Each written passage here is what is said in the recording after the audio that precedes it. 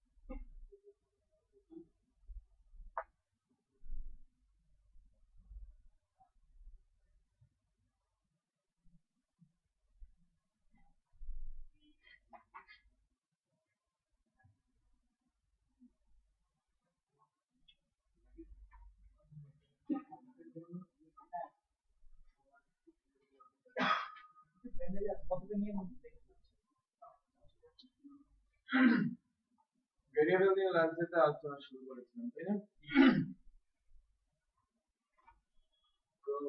যদি একটু আগের বিষয়টা একবার একটু জ্বালিয়ে নিয়ে পরবর্তীতে যাওয়ার চেষ্টা করছি।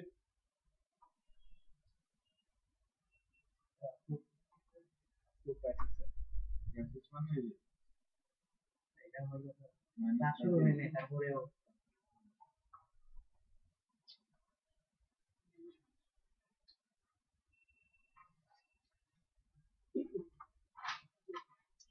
বাট তারপরে তো এখন ইন্টারেস্টিং কাজ এবং প্রত্যেকের কাজ করছে যেটা পরে চাইলে তো বাসা থেকে দূরে আনা যাবে না। বুঝতে করতে পারি আমরা স্যার ভেরিয়েবল যেন গতকালকে কি বলেছিলাম? বলেছিলাম এটা একটা মেমোরি লোকেশনের নাম। এখানে একটা ভ্যালু স্টোর হবে রাইট ভ্যালু চেঞ্জ করা যাবে প্লাস ভ্যালুটা সে ধরে রাখবে। ভ্যালুর উপর বেস করে তার ডাটা টাইপ ডিক্লেয়ার হয়। বলেছিলাম না এগুলো? ভ্যালুর উপর বেস করে তার ডাটা টাইপ ডিক্লেয়ার হয়। একই ভেরিয়েবলের মধ্যে।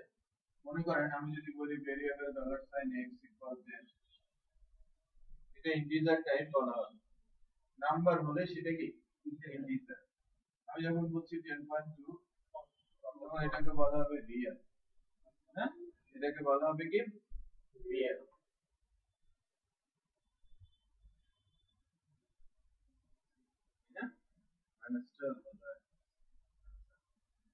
এটাকে বলা হবে রিয়েল পিএসপি তে ফ্লোট ডাবল এই নামে কোনো ডেটা টাইপ নেই। যাদের আগে থেকে প্রোগ্রামিং ল্যাঙ্গুয়েজে ডেটা টাইপের কনসেপ্ট আছে। তাদের জন্য বলছি, আর যাদের শুরু হচ্ছে তো এই ডেটা টাইপ বিষয়টা হচ্ছে যে আমি আমার ভেরিয়েবলের ভেতরে যে ভ্যালুটা রাখব, তার উপর বেস করে মেমোরিতে তার জায়গা অ্যালোকেট করে ওকে মেমোরিতে তার জায়গা অ্যালোকেট করবে। তো বিষয়টা এরকম দাঁড়ায়, যদি ক্যারেক্টার হয় লাইক এ এটা একটা ক্যারেক্টার রাইট এটাকে আমরা স্ট্রিং বলতে পারি, একটা লেটার বলতে পারি, একটা ক্যারেক্টার বলতে পারি। এটা মেমোরিতে জায়গা নেবে one byte that means eight bit মানে eight bit equal one byte one character one byte জায়গা দখল করে। এরপরে আসি ইন্টিজার ভ্যালু তাই না? আমি যখন বলছি ইন্টিজার ইন্টিজার ইন্টিজার বলতে আমরা কি বুঝি? মনে করেন আমি 2 লিখেছি, এটা 1 ডিজিট রাইট এটা একটা ইন্টিজার আমি চারটা নয় লিখলাম, এটাও একটা ইন্টিজার ভ্যালু তো ইন্টিজারে ওয়ান ক্যারেক্টার আমি তো ক্যারেক্টার অনেক লিখতে পারি এবিসিডি ধরে অনেক বড় ক্যারেক্টার লিখতে প্রত্যেকটা ক্যারেক্টারের জন্য কত নেবে? 1 বাই আর প্রতিটা ইন্টিজার ভ্যালুর জন্য কত নেবে ডেটাবেসে সরি মেমরি লোকেশনে 2 বাই ইকুয়াল অ্যাকচুয়ালি 16 বিট তার মানে অনেক বেশি জায়গা সে দখল করছে।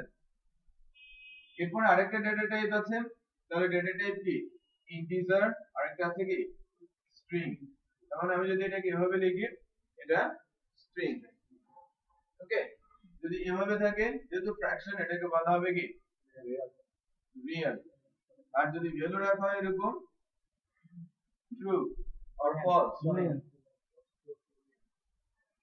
Boolean। তে চার ধরনেরই ডেটা টাইপ আছে। এটা লুজলি কাপল ডিক্লারেশনের দরকার পড়ে না।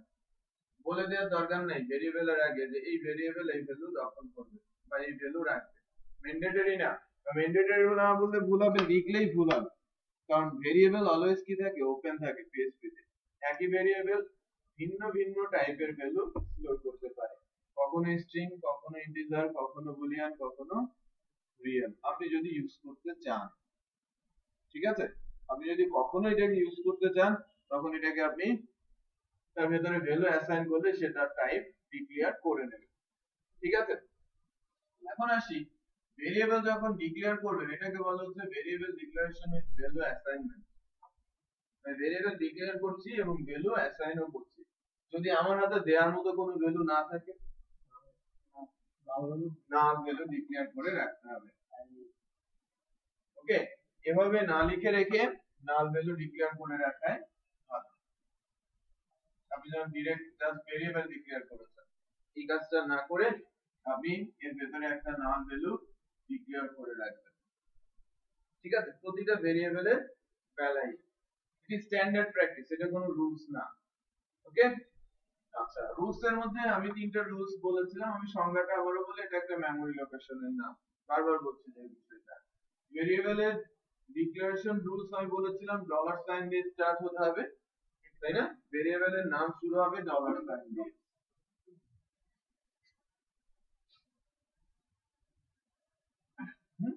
First name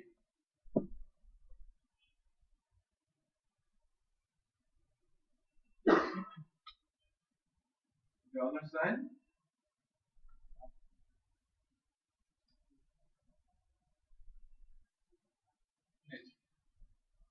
right? তো ভেরিয়েবলের ক্যারেক্টার কি হবে? ভেতরে ইউজ যে ক্যারেক্টারগুলো, সেগুলো কি? Capital A to Z small A to Z zero to nine আর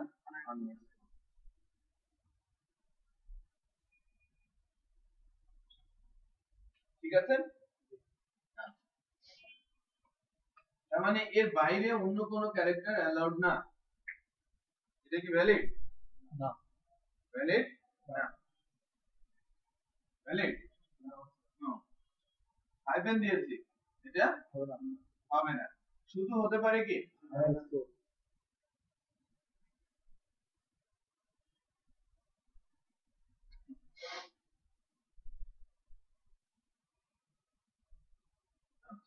এখানে কত হলো? না? এটা এটা এরকম যাবে আর কি। হ্যাঁ? আচ্ছা। আর কি? এটা ভেরিয়েবল প্রথম দুইটা রুলস অনুযায়ী ঠিক আছে। বাট থার্ড রুলস অনুযায়ী ঠিক নেই। থার্ড রুলসটা কি? ভেরিয়েবলের ফার্স্ট ক্যারেক্টার নাম্বার নাম্বার হওয়া যাবে না। ভেরিয়েবলের ফার্স্ট ক্যারেক্টারটা নাম্বার হওয়া যাবে না।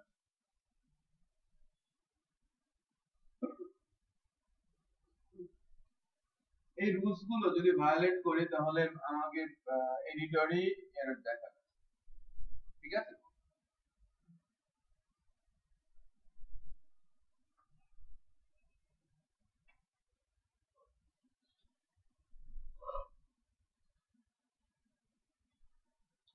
নেমিং কনভেনশন নাম দেওয়ার জন্য। একটা স্ট্যান্ডার্ড প্র্যাকটিস বলব, নাম দেওয়ার জন্য। নাম কোথায় কোথায় হতে পারে?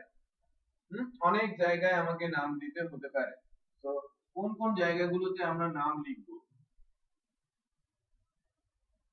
ফোল্ডারের নাম আমাকে দিতে হতে পারে। ফাইল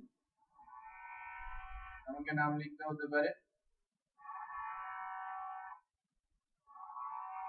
ভেরিয়েবলের নেম হতে পারে, তাই না? এরপরে আসতে পারে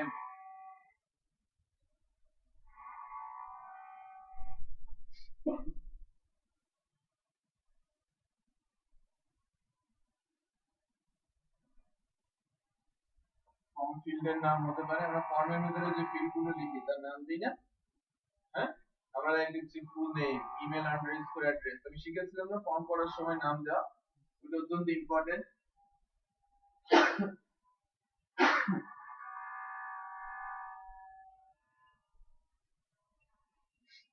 ফাংশন নেম এরও একটা নাম হবে। অ্যারে নেম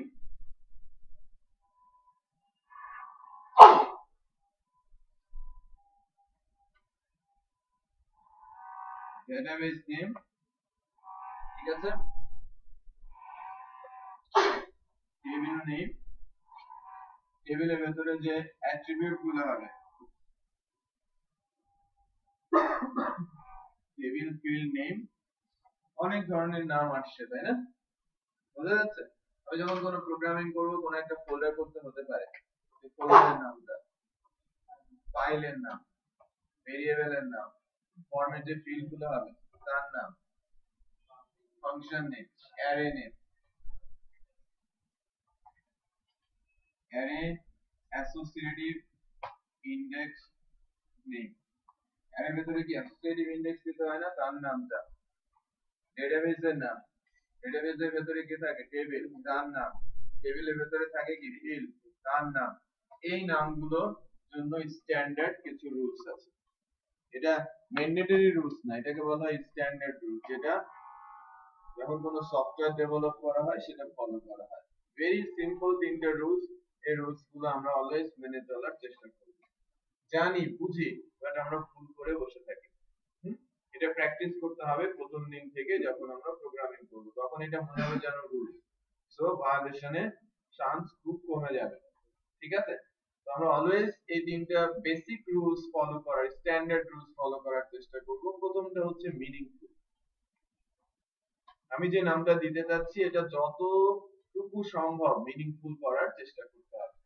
একেবারে কাছাকাছি যাওয়ার চেষ্টা করতে হবে। একেবারে শুরুতেই হবে না যে আপনি ইনস্ট্যান্ট খুব ভালো ভালো নাম দিতে পারছেন মিনিংফুল নাম দিতে পারছেন এটা কেউ এক্সপেক্ট করবে না। বাট প্র্যাকটিস আপনাকে আস্তে আস্তে পারফেক্ট করে দিবে। ওকে প্র্যাকটিস করে যেতে হবে। লাইক আপনি ভেরিয়েবলের নাম A B C D X Y Z এগুলো লিখতে পারবেন না। সিচুয়েশনের সঙ্গে ফিট করে এ ধরনের একটা নাম আপনাকে দিতে হবে। বুঝাতে পারছি? আপনি মিনিংফুল লিখছেন মিনিংফুল বলতে কি আপনি অ্যাপ্রোপ্রিয়েট কোনো একটা নাম দিতে চাচ্ছেন?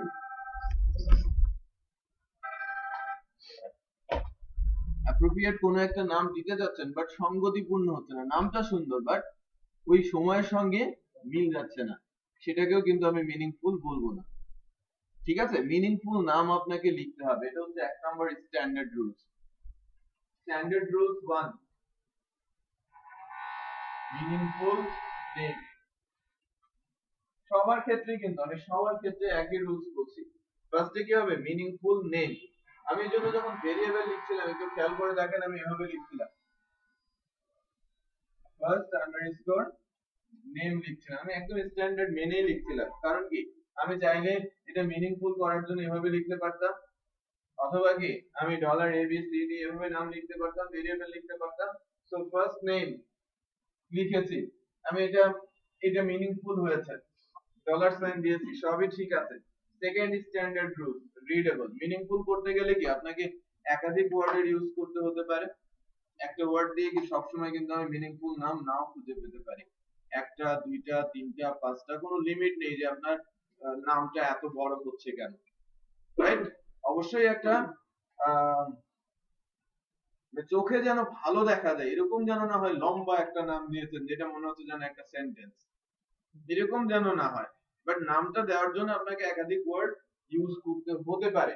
সেক্ষেত্রে যেন বোঝা যায় দুইটা আলাদা আলাদা ওয়ার্ড সেই ব্যবস্থা করতে হবে, যেটাকে বলা হয় রিডেবল আপনাকে রিডেবল নেম লিখতে হবে। রিডেবল করার জন্য স্ট্যান্ডার্ড রুলস পিএসপি দিয়ে আন্ডারস্কোর আমরা দুইটা নামের মধ্যে আন্ডারস্কোর ইউজ করব মিনিংফুল করব ফার্স্ট তারপরে সেকেন্ড রুলসটা কি? আন্ডারস্কোর ইউজ করব ঠিক আছে? আর থার্ড স্ট্যান্ডার্ড রুলস হচ্ছে অলওয়েজ স্মল লেটার ইউজ করব ক্যাপিটাল লেটার বা ক্যাপিটালাইজ ফরম্যাট না। কোনো নামের বেলাতেই না। ঠিক আছে? সো ওই যে আমরা অনেক সময় নামের মধ্যে স্পেস ছেড়ে দেই ফোল্ডারের নাম ফাইলের নাম, এটা করা যাবে না। বোঝা যাচ্ছে? সো স্পেস ইউজ করা যাবে না। অলওয়েজ কি করতে হবে? আন্ডারস্কোর ইউজ করতে হবে। মিনিংফুল নাম লিখতে হবে। রিডেবল করার জন্য দুটো সেপারেট করে আন্ডারস্কোর দিতে হবে এবং স্মল লেটারে দিতে হবে। ক্যাপিটালাইজ ফরম্যাট অনেকে কি? প্র্যাকটিস করে। যে ফার্স্ট লেটারটা ক্যাপিটাল করে দেওয়া। প্রোগ্রামিং এর সময় এটা দরকার নেই। অল স্মল লেটার তাহলে তিনটা রুলস কি? মিনিংফুল রিডেবল স্মল মনে থাকবে আশা করি। এক, দুই, তিন, চার, পাঁচ, ছয়, সাত, আট, নয়, দশ। দশটা জায়গাতে আমরা এই প্র্যাকটিসটা রাখব। ওই জায়গাগুলোতে গিয়ে কিন্তু আমি আর এই বিষয়টা নিয়ে আর কথা বলব না। আমি যখন প্রোগ্রামিং করব, চেষ্টা করব এটা ফলো করতে, আপনাদের কাছ থেকে যখন ফিডব্যাক চাইব, আমারও ওই জিনিসটা চেক করে নিব যে আপনারা সেটা প্র্যাকটিস কিনা। ওকে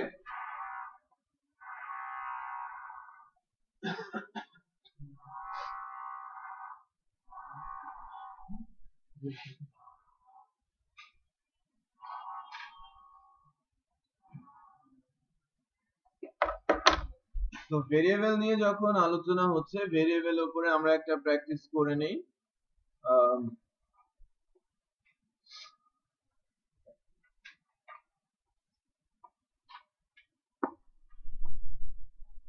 ডে সেভেন আমরা ডে এইটে যাচ্ছি।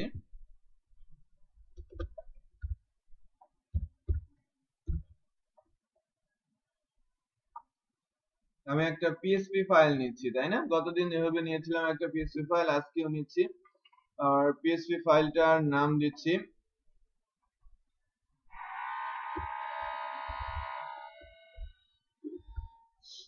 ভেরিয়েবল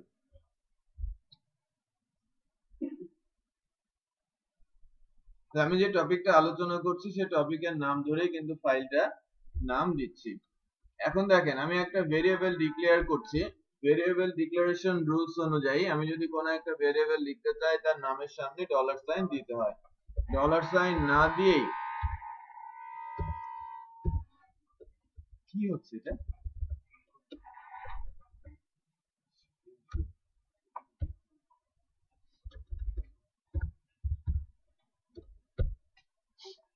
দেখেন, আমি কিন্তু ডলার সাইন দেই নাই, এটা রেড আন্ডারলাইন চলে আসে। তার মানে আমি সিনট্যাকটিক্যাল এরর তৈরি করেছি।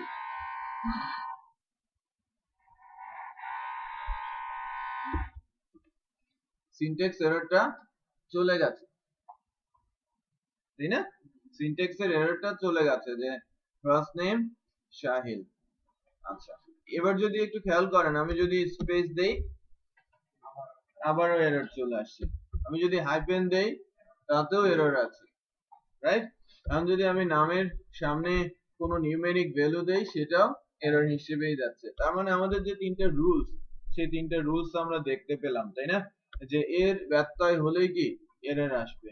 আর এরর যদি আসে কোড এক্সিকিউট হবে না।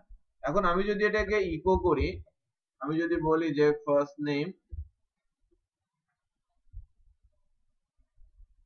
এখানে আমি আন্ডারস্কোর দিচ্ছি, এখানে আন্ডারস্কোর দিয়ে তো ফার্স্ট নেম ভেরিয়েবলের মধ্যে যা আছে, সেই ভ্যালুটা সে দেখাবে। আমি যদি এটাকে রান করাতে চাই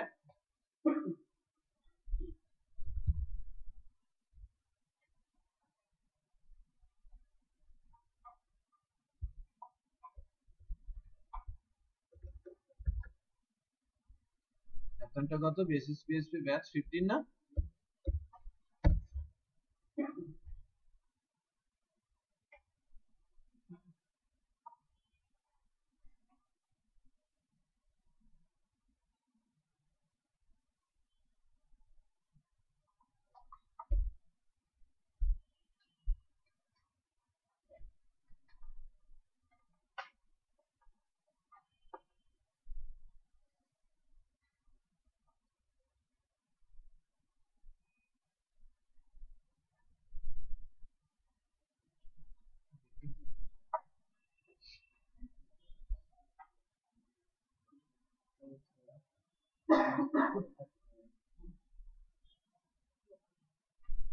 আউটপুট কি আসছে? একটু চেক করেন। আমি যখন আবারও লিখতে যাচ্ছি কন্ট্রোল ধরে স্পেস দিয়েছি। ফার্স্ট নেম এর সামনে কি লিখা আছে? স্ট্রিং ঠিক আছে? এর নামের সামনে দেখা যাচ্ছে কি স্ট্রিং কারণ এর ভেতরের ভ্যালুটা কি? স্ট্রিং আমি যদি 10.2 লিখি, একটু খেয়াল করেন। এবারে যদি আমি চাই স্টিল আমাকে কি বলছে? স্ট্রিং কোটেশনের মাধ্যমে যা থাকবে ডাবল কোট বা সিঙ্গেল কোট অলওয়েজ কি? স্ট্রিং আচ্ছা। সে কিন্তু নিজে থেকে ডিক্লেয়ার করছে। ওকে ভ্যালুটা নিজে থেকে ডিক্লেয়ার করে নিচ্ছে। আমি যদি 10 ভ্যালু দেই সো এর জন্য সে ডেটা টাইপটা নিজে থেকে ডিফাইন করে দিয়েছে কি? ইন্টিজার আর আমি যদি এর ভেতরে ভ্যালু আমি একটা শূন্য দেই আর দশটা শূন্য দেই, সব কেসেই কি? এটাকে বলা হবে কি? বলে দিচ্ছে রিয়েল ওকে আচ্ছা আর এর ভেতরে যদি আমি ভ্যালু বসাই ট্রু অর ফলস দু ধরনের ভ্যালুই হতে পারে, সেক্ষেত্রে সে বলবে কি? বুলিয়ান ঠিক আছে? সো এই চার ধরনের ডেটা টাইপ পিএসপি ভেরিয়েবলে আছে, যেটা লুজলি কাপল হয়, সরাসরি ডিক্লারেশনের দরকার নেই। ওকে সরাসরি ডিক্লেয়ার করার একেবারেই দরকার নেই। আচ্ছা আমরা স্ট্যান্ডার্ড রুলস জেনেছি, আমরা ভেরিয়েবলের নাম শিখেছি। এরপর লাইক আমি যদি বলি যে ফার্স্ট নেম বলছি শাহিল আরেকটা ভেরিয়েবল নেই লাস্ট নেম আলম এটাকে যদি আমি ফুল নেম আকারে দেখতে চাই, কি করব? কনক্যাট করতে হবে। কনক্যাট কনক্যাটেনেশন রাইট আমরা এখনও অপারেটরগুলো শিখি নাই বাট এই অপারেটরটা আমরা একটু দেখি। কনক্যাটেনেশন অপারেটর বলা হয়ে থাকে। কনক্যাটেনেশন অপারেটর পিএসপি তে ডট বলা হয় রাইট যদি কাউকে আমি কনক্যাট করতে চাই, কাউকে বলতে মনে করেন আমি এরকম লিখতে চাচ্ছি যে ফুল নেম এখানে আমি ভেরিয়েবল লিখব dollar first name dot dollar last name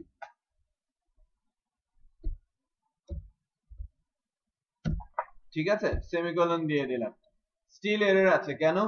আমি ভেরিয়েবল ভেরিয়েবলের মাঝখানে ডট বসিয়েছি বাট স্ট্রিং আর ভেরিয়েবলের মাঝে কোনো ডট নেই নাই। সো আমি এখানে একটা ডট দিলে এররটা চলে যাচ্ছে। তার মানে আমি যদি কখনো ভেরিয়েবল ভেরিয়েবল পাশাপাশি বসাতে চাই এক শুধু ভেরিয়েবল পাশাপাশি বসালে এরর আসবে কিন্তু হ্যাঁ? লাইক আমি এই অবস্থায় নিয়ে যাই প্রথমে। যে ভেরিয়েবল দুইটা আমি যদি পাশাপাশি বসাতে চাই এরর আসবে হবে না। আমাকে কনকাটেনেশন অপারেটর ইউজ করতে হবে। আর যখন স্ট্রিং ভেরিয়েবল তখনও কিন্তু আমাকে কনকাটেনেশন অপারেটর ইউজ করতে হবে। আবার যদি ভেরিয়েবল স্ট্রিং হয় অলওয়েজ ভেরিয়েবল আর স্ট্রিং পাশাপাশি বসাতে গেলে মাঝে কি? ডট সো পিএসপি তে কনকাটেনেশন অপারেটরের কাজ কি? কনক্যাট মানে কি? পাশাপাশি বসানো। ডট সাইনটাকে কনকাটেনেশন অপারেটর বলা হয়ে থাকে। তো আমি ফুল নেম যদি দেখতে চাই, আমি এটাকে সেভ দেই। সেভ দেওয়ার পরে যদি আমার এই পেজটাতে গিয়ে লোড দেই, দেখাচ্ছে full name Shahil Alam but এদের দুজনের মধ্যে কোনো গ্যাপ নেই, আছে? একসাথে দেখাচ্ছে, যদি আমি পাশাপাশি নিতে চাই স্পেস যেন থাকে, এটা যদি করতে চাই, তাহলে স্পেস দেওয়া যাবে কি দিয়ে? কোটেশন আবার ডট এই যে মাঝখানটা, এখানে আমি একটা স্পেস দিতে পারি। কি? স্ট্রিং না? আমি একটা স্পেস দিচ্ছি স্ট্রিং আকারে। এবার সেভ করি লোড দেই স্পেস আসছে আসলো। এখানে কি হয়েছে? ভেরিয়েবল আর স্ট্রিং পাশাপাশি বসেছে, তাই না? এবং দুজনের মধ্যে কি আছে? ডট সাইন আছে। ক্লিয়ার তো ভেরিয়েবল আর স্ট্রিং স্ট্রিং আর ভেরিয়েবল যখনই আমি বসাবো ভেরিয়েবল আর ভেরিয়েবল যখনই বসাবো, মাঝে কি বসাতে হবে? ডট কনক্যাটেনেশন অপারেটর অপারেটর সেগমেন্টে আমরা পঁচিশ, ছাব্বিশটা অপারেটর আলোচনা করব বাট ফার্স্ট ডট অপারেটরটা নিয়ে আপনাদের আলোচনা হলো। আরেকটা অপারেটর অলরেডি আলোচনায় এসেছে, সেটা হচ্ছে ইকুয়াল এটাকে বলা হয় অ্যাসাইনমেন্ট অপারেটর যার কাজ রাইট সাইডে ভ্যালু লেফট সাইডে ভ্যালু লেফট সাইডে অ্যাসাইন করা। আমি যদি বলি this dollar A hundred dollar B two hundred dollar A equal dollar B meaningful করি নাই কিন্তু না। আমি ইকো বলছি ডলার এ আমি বি আর কেন বলছি? লাইন ব্রেক দিতে যাচ্ছি। এর মধ্যে কত আসবে?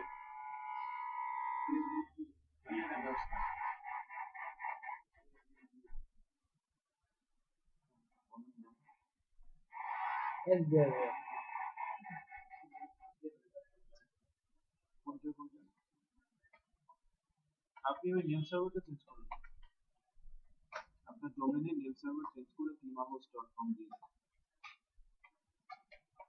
হ্যাঁ Tima T I M A H O S timahost.com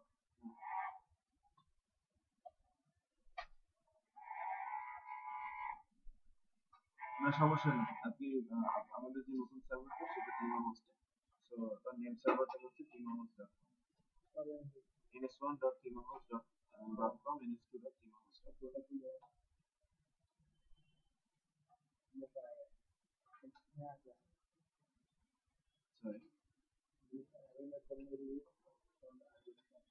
হ্যাঁ হ্যাঁ সবার সবার নেম সার্ভার এখনও নেম সার্ভার যেটা আছে সেটা দিয়ে। না না আপনার ডোমেন প্যানেল ডোমেন প্যানেলে কি ডোমেনের নেম সার্ভার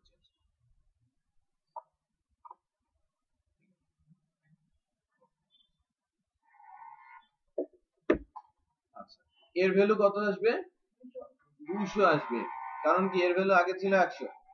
তারপরে বি এর ভ্যালু কত? দুশো এর ভ্যালু এ ইকুয়াল বি বলা হচ্ছে। তার মানে কি? বি এর ভ্যালু এর মধ্যে কি হয়ে যাবে? অ্যাসাইন হয়ে যাবে। এর ভ্যালু লেটেস্ট কত? মানে আমি যদি আউটপুটটা দেখতে চাই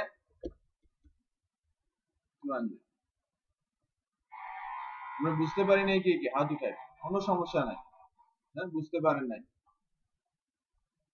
ইকুয়াল অপারেটরের কাজ কি? অ্যাসাইন করা। অলওয়েজ সে রাইট সাইডের ভ্যালু লেফট সাইডে অ্যাসাইন করবে।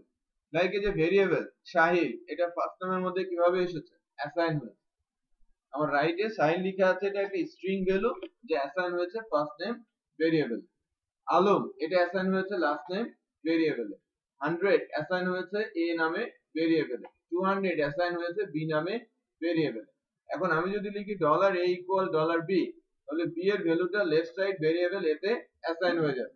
এ আগে ছিল কত? একশো। সে বি এমন ভুলে যাবে যে তার মধ্যে একশো ছিল। সে এখন রেখে দেবে কত?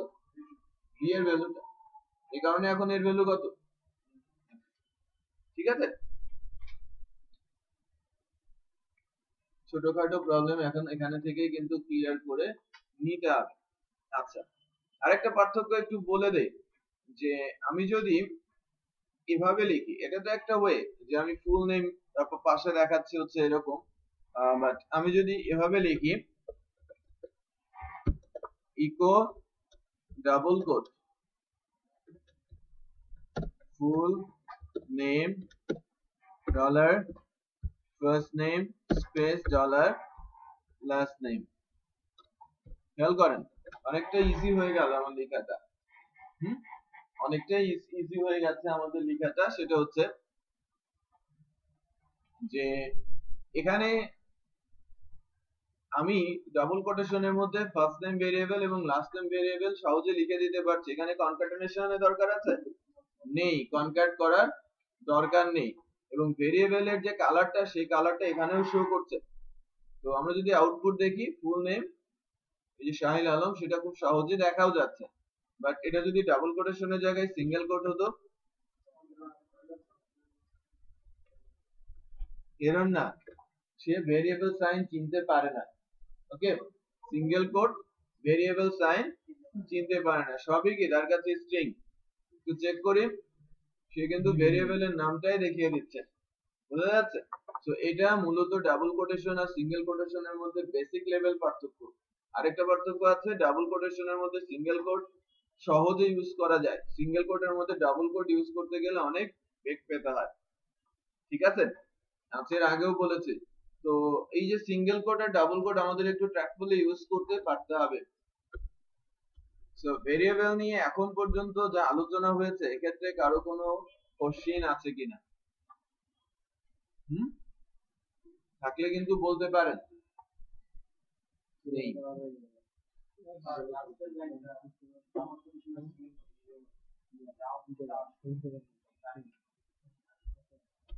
আমি যখন ডাবল কোটেশন দিয়ে দিয়েছি যেটা স্ট্রিং সেটা কালার একরকম, যেটা ভেরিয়েবল তার কালার আরেক রকম রাইট এবং ভেরিয়েবলটা কিন্তু সে চিনতে পারছে চিনতে পারা বলতে যে ভেরিয়েবলের ভ্যালু কত? ফার্স্ট নামের মধ্যে কি আছে? শাহিদ লাস্ট নামের মধ্যে কি আছে? আলো। আউটপুট দেখি সে কিন্তু আমার আউটপুট আকারে শাহিল আলমী দেখাচ্ছে। বাট এই লেখাটাই যদি আমরা সিঙ্গেল কোড না দিয়ে ডাবল কোড না দিয়ে সিঙ্গেল কোড আকারে লিখতাম।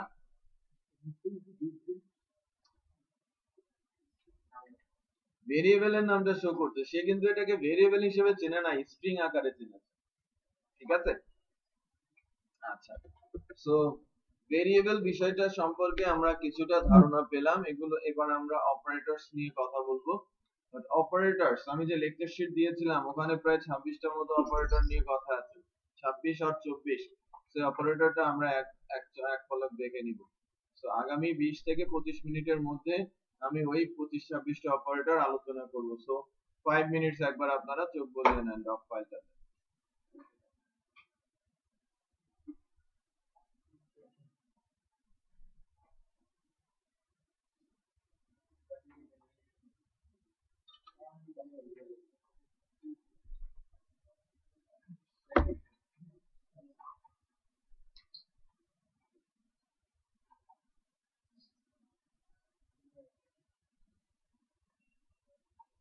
Wow.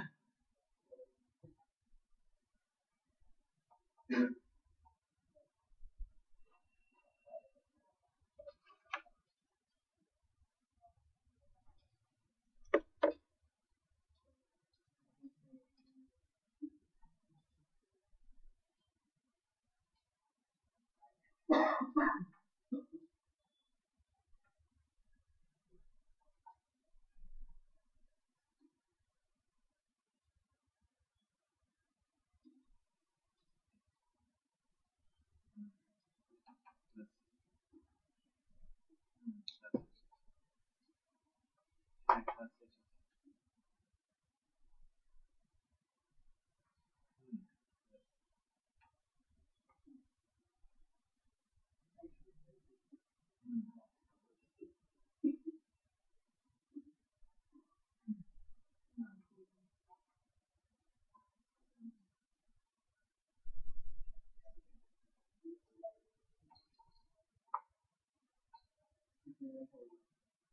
আর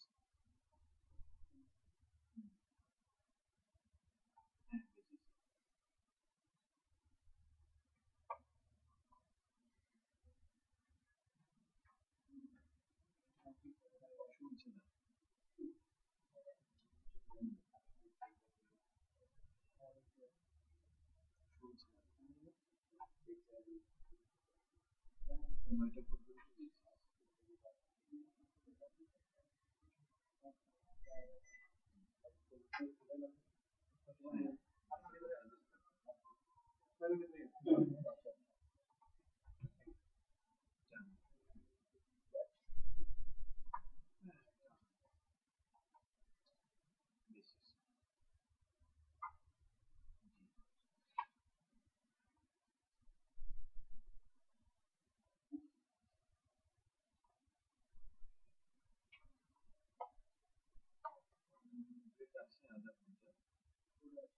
ঘণ্টার ব্যাচ ব্রেক আছে একটা ব্যাচ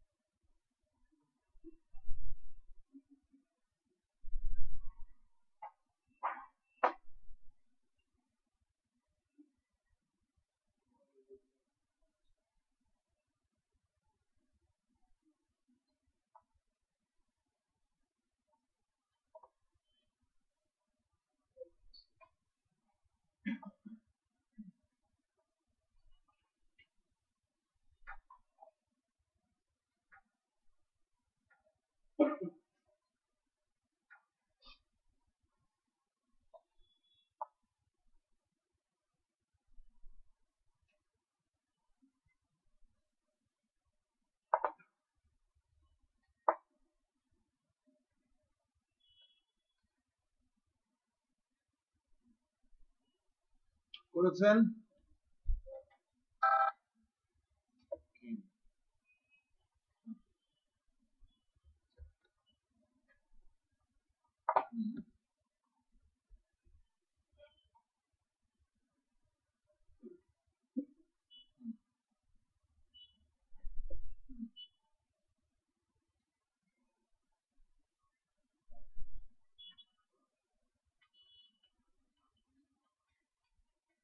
আপনি একটা ইমেল করেন? আপনি এটা পাসওয়ার্ড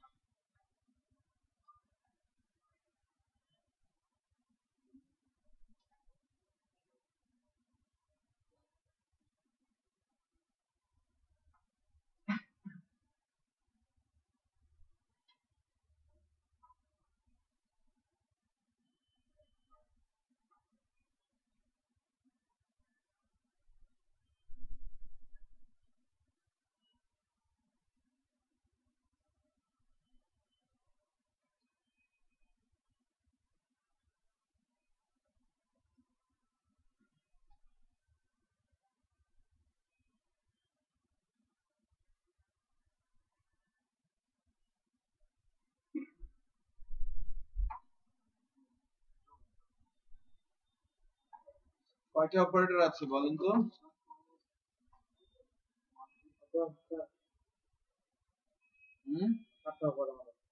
সাতটা।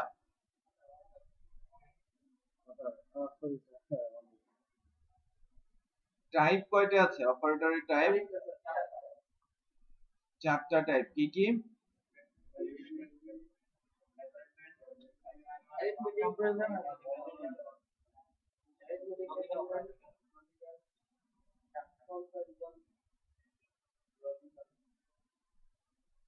আচ্ছা কম্পারিজন আর লজিক্যাল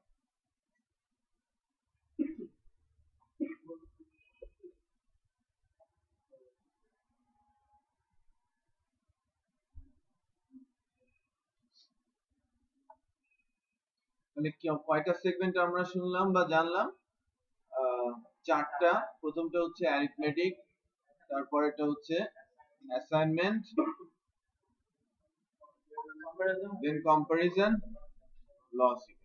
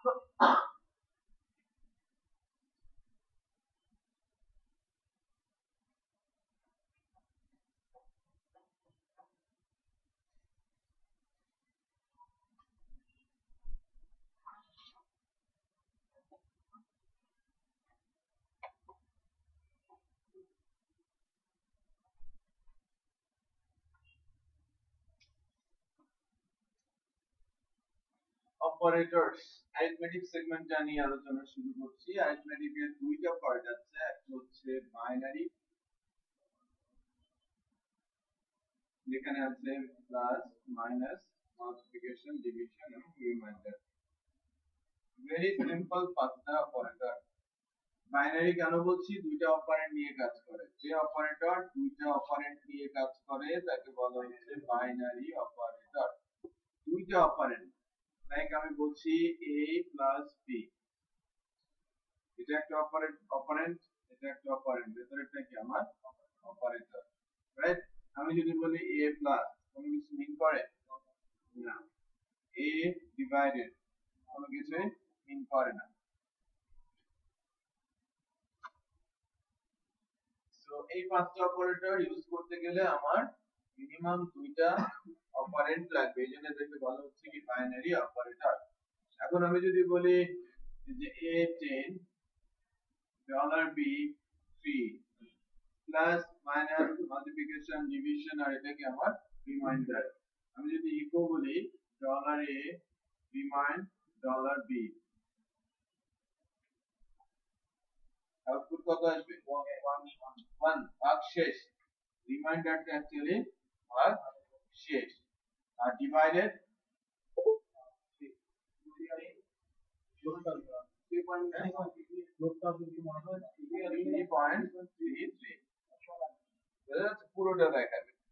হ্যাঁ? শুধু ভাগ ফলটা বলতে কি?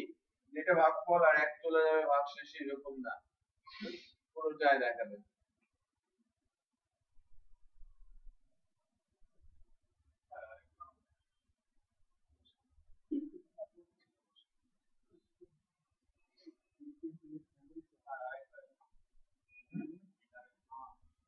ডিভাইডেড এটা ভাগফল আর মডিউলাস এটা ভাগ শেষ। সো যখন ডিভাইডেড হবে, আমার রেজাল্টটা দেখাবে 3.33 হ্যাঁ? আর যখন আমি মডিউলাস দিব, এর আউটপুটটা দেখাবে কত?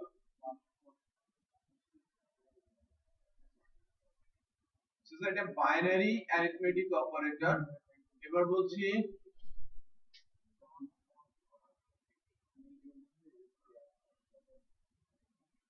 ইউনারি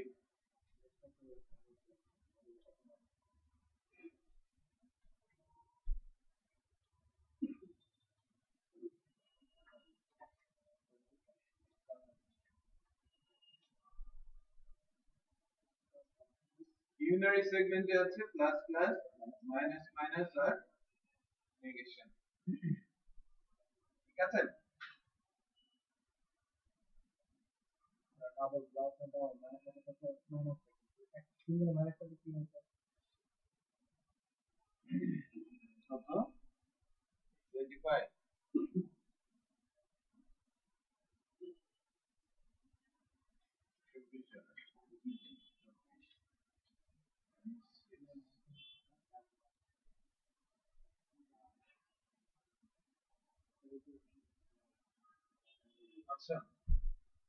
এদেরকে বলা হচ্ছে কি ইউনারি অপারেটর এরা একটা অপারেন্ট নিয়ে কাজ করে। একটা অপারেন্ট আবারও বলছি একটা অপারেন্ট নিয়ে কাজ করে। তো আমি যদি ভেরিয়েবল বলি ভেরিয়েবল বলি ডলার সাইন ফার্স্ট নাম্বার ভেরিয়েবলে রাখছি ডলার সাইন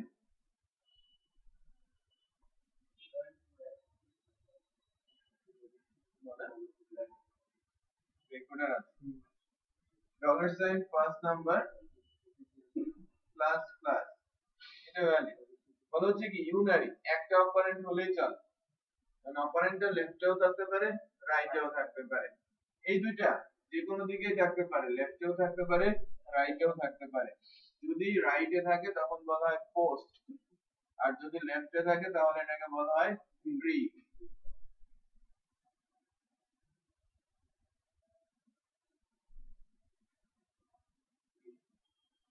এটাকে বলা হচ্ছে পোস্ট আর এটাকে বলা হচ্ছে প্রি তো প্লাস প্লাস এর কাজ কি? এক করে পাবে এক ভ্যালু যোগ করে দেওয়া। তার আসল যে ভ্যালুটা তার সঙ্গে আমার ভ্যালুটা কত আছে? আমি যখন ইকো করেছি এটা আউটপুট কত আসবে? Hundred one hmm? Hundred one ফার্স্টে মাসে এটা কিন্তু তাহলে আমি দেখি এটা এটা এটা করা লাগে প্রথম যদি ফ্রি করা তাহলে এটা দিয়ে আসবে। আমি জাস্ট এই লাইনটা লিখেছি ধরে নিচ্ছি আমার লাইনটা লিখেছি। হান্ড্রেড কত আসবে? হান্ড্রেড হান্ড্রেড আউটপুট দেখাবে কি? হান্ড্রেড অনেকেই হান্ড্রেড এন্ড ওয়ান বলেছেন যেটা রং কারণ এটা পোস্ট ইনক্রিমেন্ট আগে এক্সিকিউট হয়ে যাবে। ইনক্রিমেন্টটা পরে হবে।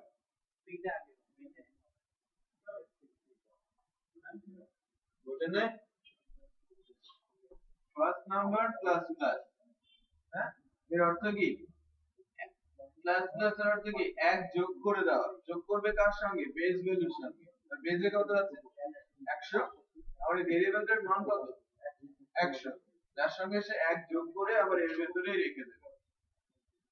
ঠিক আছে? এক যোগ করবে এবং এর ভেতরেই রেখে দেবে। বাট আমি যখন ইকো করছি, তখন কিন্তু আর যোগ করে নাই। আগের ভ্যালুটাই আছে। একশোই আছে। বাট এক যোগ করে রেখেছে কখন? পরে। আগেই তো এক্সিকিউট হয়ে গেছে বুঝা যাচ্ছে না? বাট এবার যদি আমি এখানে ইকো করি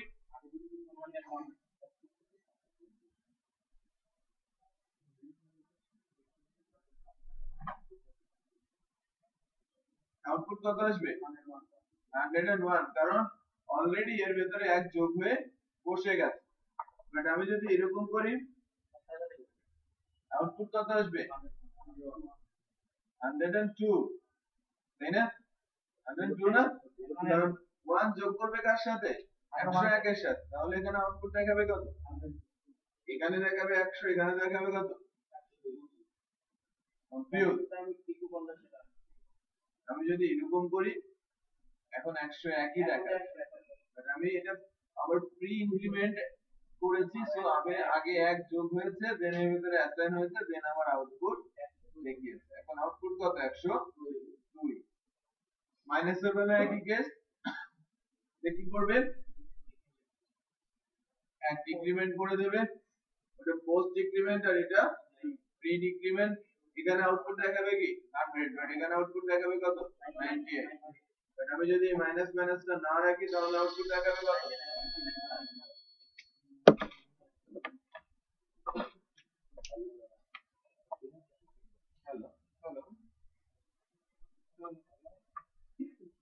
Hello.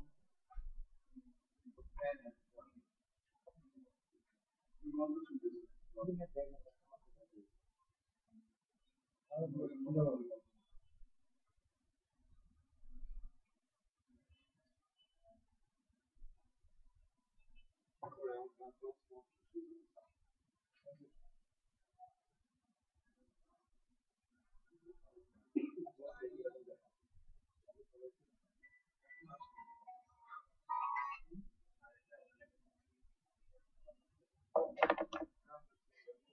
হ্যালো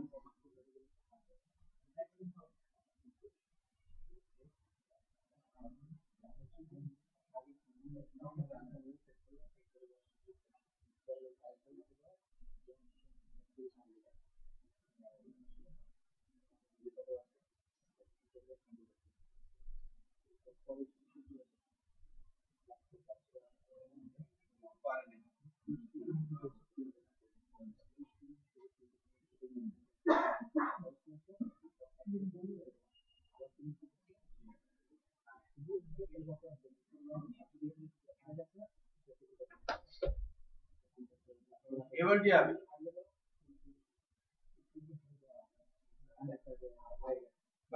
এর ভেতরে কত আছে?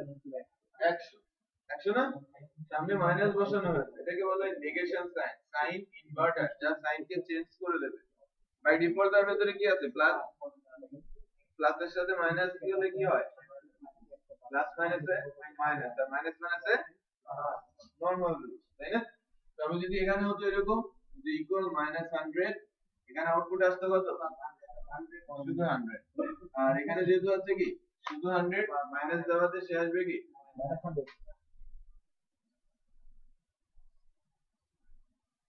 ঠিক আছে?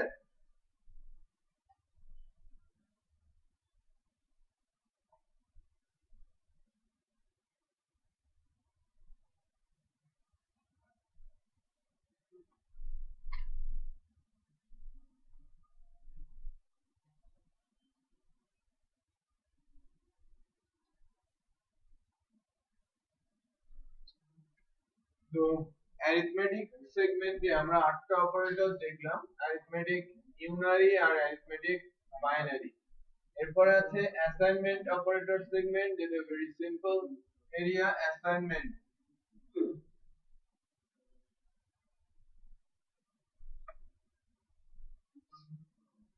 assignment অপারেটরগুলোর মধ্যে আছে প্রসপেক্ট ইকুয়াল এটা মেইন অ্যাসাইনমেন্ট অপারেটর ঠিক আছে? তারপরে আছে plus equal minus equal multiplication equal division equal remainder equal dot equal এগুলো কি? সব এই পাঁচটা হচ্ছে আবার অ্যারিথমেটিক অপারেটর না? অ্যারিথমেটিক এর সঙ্গে অ্যাসাইনমেন্ট যোগ হয়ে এই বাকি অপারেটরগুলো হয়েছে আর ডটটা কি? কনক্যাটেনেশন অপারেটর যার সঙ্গে ইকুয়াল যোগ হয়ে আরেকটা নতুন ধরনের অপারেটর হয়েছে মূল অ্যাসাইনমেন্ট অপারেটর কি? টোটাল কয়টা আছে সাতটা অপারেটর আছে এখানে। আমরা আগেই বলেছি যে আমি যদি বলি dollar a equal dollar b এর মানে কি? একদম পেছনে। পেছনে পেছনে আপনারও পেছনে। কি হবে? এ ইকুয়াল বি লিখেছে এর মানে কি? বি এর মানটা এর মধ্যে অ্যাসাইন হবে বি এর ভ্যালু যাই থাকুক না কেন সেটা এতে চলে আসবে। আমরা নরমালি কি তখন অঙ্ক করি ম্যাথমেটিক্স এ কি হয়? A ইকুয়াল b বললে a আর b সমান বোঝায়। তাই না? বাট প্রোগ্রামিং এ এটাকে বলা হয় অ্যাসাইনমেন্ট অপারেটর রাইট সাইডের ভ্যালু কি হবে? লেফটে অ্যাসাইন হবে। এখন আমি বসেন। Dollar a plus equal dollar b এক্ষেত্রে কি হবে?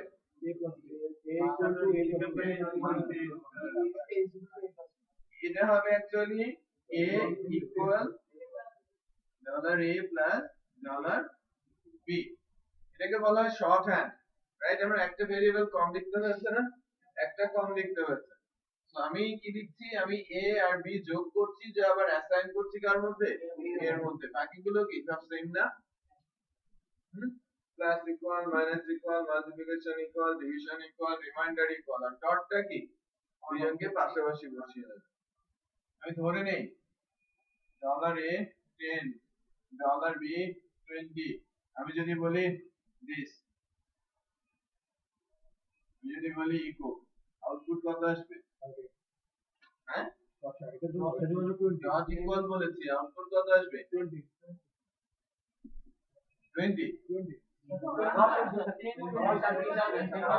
এরকম টেন কিন্তু ডট কনক্যাট করবে না।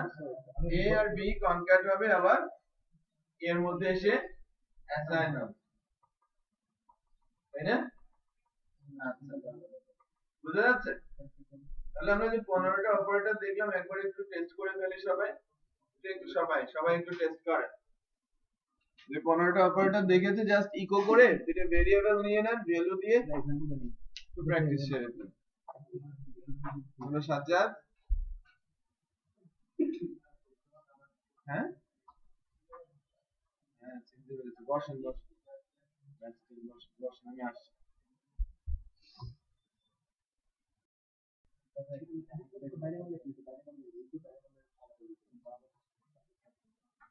Thank.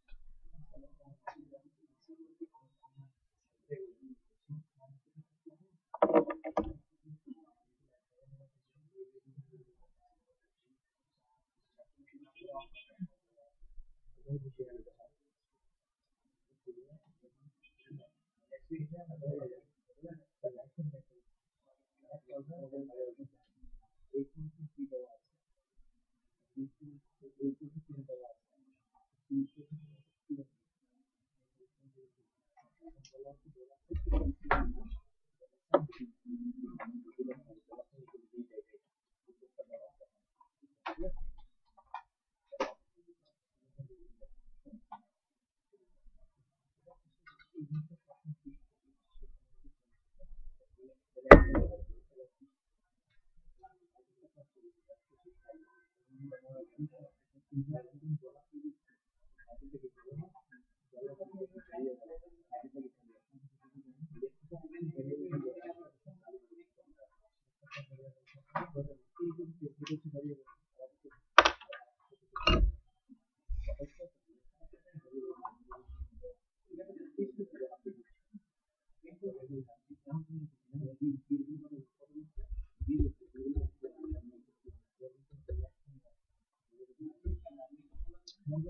দেখেন, আমি অপারেটরস নিয়ে আলোচনা করছি, যেগুলো আলোচনা হয়েছে। এর মধ্যে একজন একটা অপারেটর নিয়ে স্পেশাল করে আলোচনা করতে বলেছে, সেটা হচ্ছে ওই ইউনারি সেগমেন্টটা ইনক্রিমেন্ট আর ডিক্রিমেন্ট যেটা নিয়ে কথা হচ্ছিল। বাকিগুলো যা আলোচনা হয়েছে সিম্পল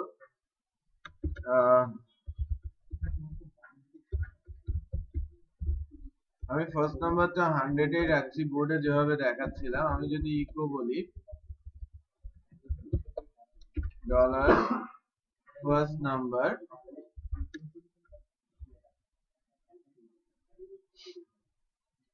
ঠিক আছে? ইকো ডলার ফার্স্ট নাম্বার আমরা বলেছিলাম যে এখানে আউটপুট আসবে একশো। কারণ আগে আউটপুটটা দেখাবে, পরে এক যোগ হবে।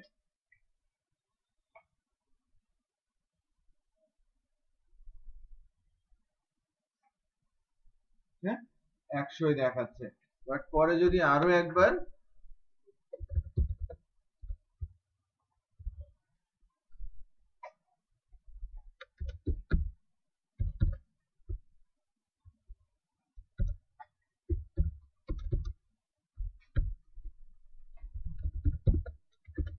আবার যদি আমি ফার্স্ট নাম্বারটা প্রিন্ট দেই, এবার উপরেরটাতে কি আছে? একশো, নিচেরটাতে আসবে কি? একশো এক। তাই কি না? হুম? কারণ এক যোগ হয়ে অলরেডি ওর ভিতরে বসে গেছে পর থেকে যতবার আমি ফার্স্ট নাম্বারকে ইউজ করব, একশো একই পাবো। তাই না? বাট আমি যদি আবার এর সামনে আবার আরেকটা প্লাস প্লাস দিয়ে দিই, এর অর্থ হচ্ছে আমি একশো এক, আমার, আমি এক যোগ করছি কার সাথে? একশো একের সাথে। আমার আউটপুটটা দেখাবে কত? একশো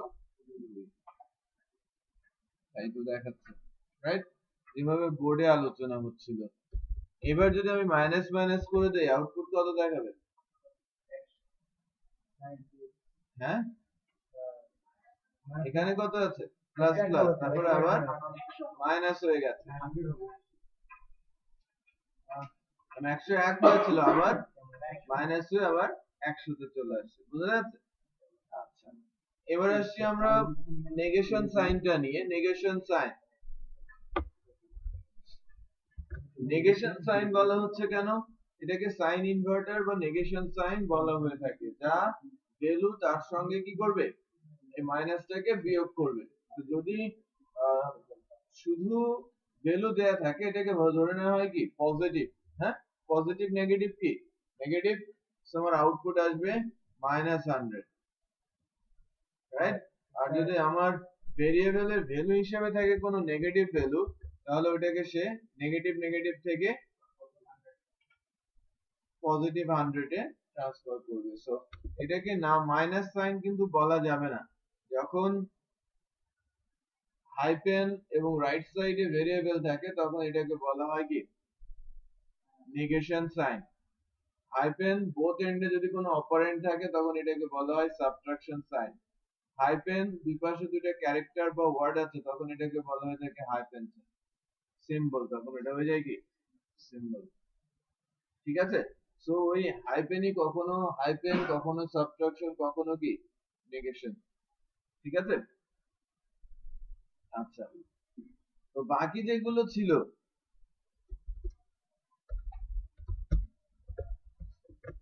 সিম্পল যে বিষয়গুলো ছিল, আমি এ ইকুয়াল বলেছিলাম। ডলার বি ইকুয়াল বলেছিলাম। Echo dollar a plus equal dollar b এটার বেলায় কি হচ্ছিল? থ্রি হান্ড্রেড এটা আমরা বুঝতেই পারছিলাম। বাট আমি যদি বলি ডট তাহলে কি হবে? হান্ড্রেড টু হান্ড্রেড এভাবে আসছিল। সো ওই মাল্টিপ্লিকেশন ডিভিশন রিমাইন্ডার সবই কিন্তু একই। আমি যদি হ্যাঁ।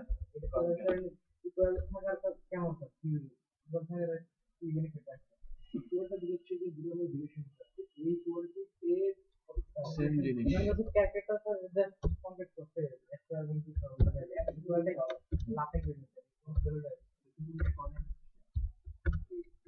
এই। একে আমি এভাবে লিখতে হতো যেটা আমি ওভাবে লিখতে পারি। এটাকে দুবার না লিখে একবার লিখতে ঠিক আছে? আচ্ছা। এর পরের যে সেগমেন্টটা আছে সেটা হচ্ছে কন্ডিশনাল সেগমেন্ট রাইট এটা অত্যন্ত ইম্পর্টেন্ট বলতে পারেন অপারেটরের শুরু এখান থেকে। বাকিগুলো কি? বেসিক লেভেল অপারেটর যে পনেরোটা আমরা শিখেছি এটা বেসিক লেভেল অপারেটর পরের যে নয়টা দশটা অপারেটর আছে এগুলো আমাদের বলা হচ্ছে কি?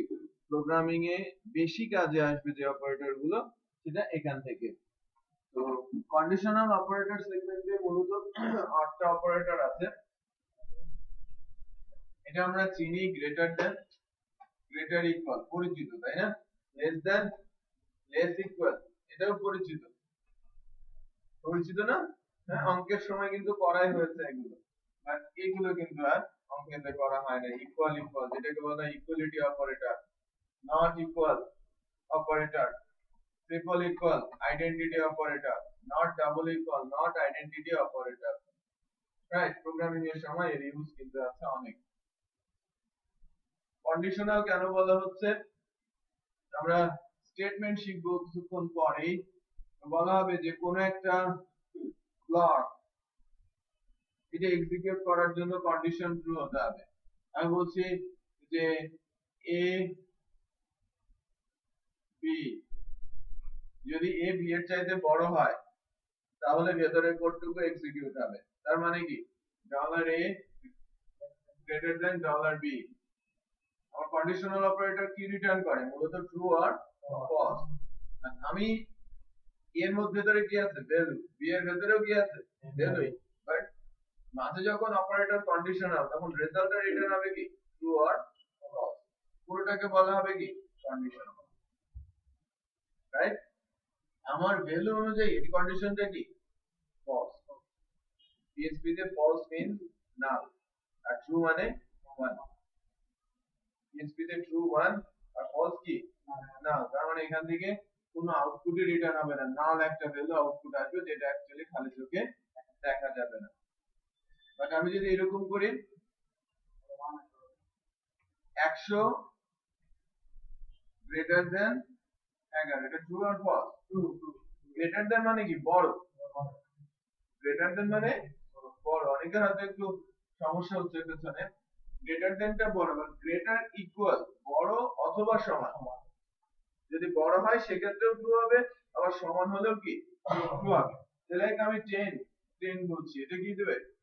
ট্রু রাইট এটা বড় না কিন্তু সমান তো। বাট এটা যদি এরকম হয় কি রিটার্ন করবে? এটা 9 10 কি রিটার্ন করবে? ট্রু 9 9 রিটার্ন করবে? রাইট বাট 9 8 বোঝা যাচ্ছে? তো এগুলো যে সিম্পল লেভেলের কন্ডিশনাল অপারেটর এটা সময়। আমরা দেখবেন কোড আমরা লিখে রেখেছি সবগুলো যে কোড কোডই যে হবে, সেটা নাও হতে পারে। এটা আমরা যে হিসেবে চাইব সেই হিসেবে এক্সিকিউট হবে। আমি একটা ব্লক তৈরি করে রেখেছি যেটা এক্সিকিউট হতে হলে কন্ডিশনটা মিট করে আসতে হবে। কন্ডিশন ট্রু হতে হবে ঠিক আছে? তো তখন আমাদের এই কন্ডিশনাল অপারেটরগুলো কাজে আসবে।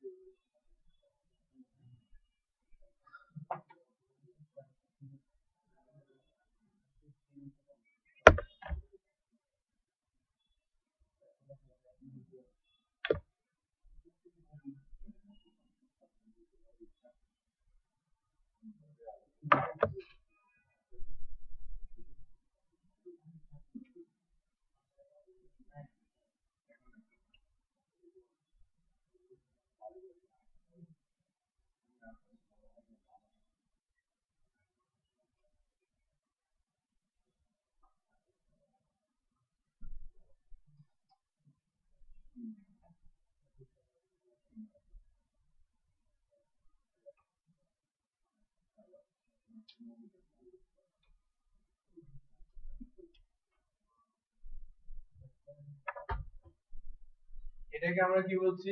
ইকুয়ালিটি এটা আমার নট ইকুয়াল এটা আইডেন্টিটি আর এটা নট আইডেন্টিটি ইকুয়ালিটি কি? দুইটার সমান হতে হবে। দুইটার ভ্যালু কি?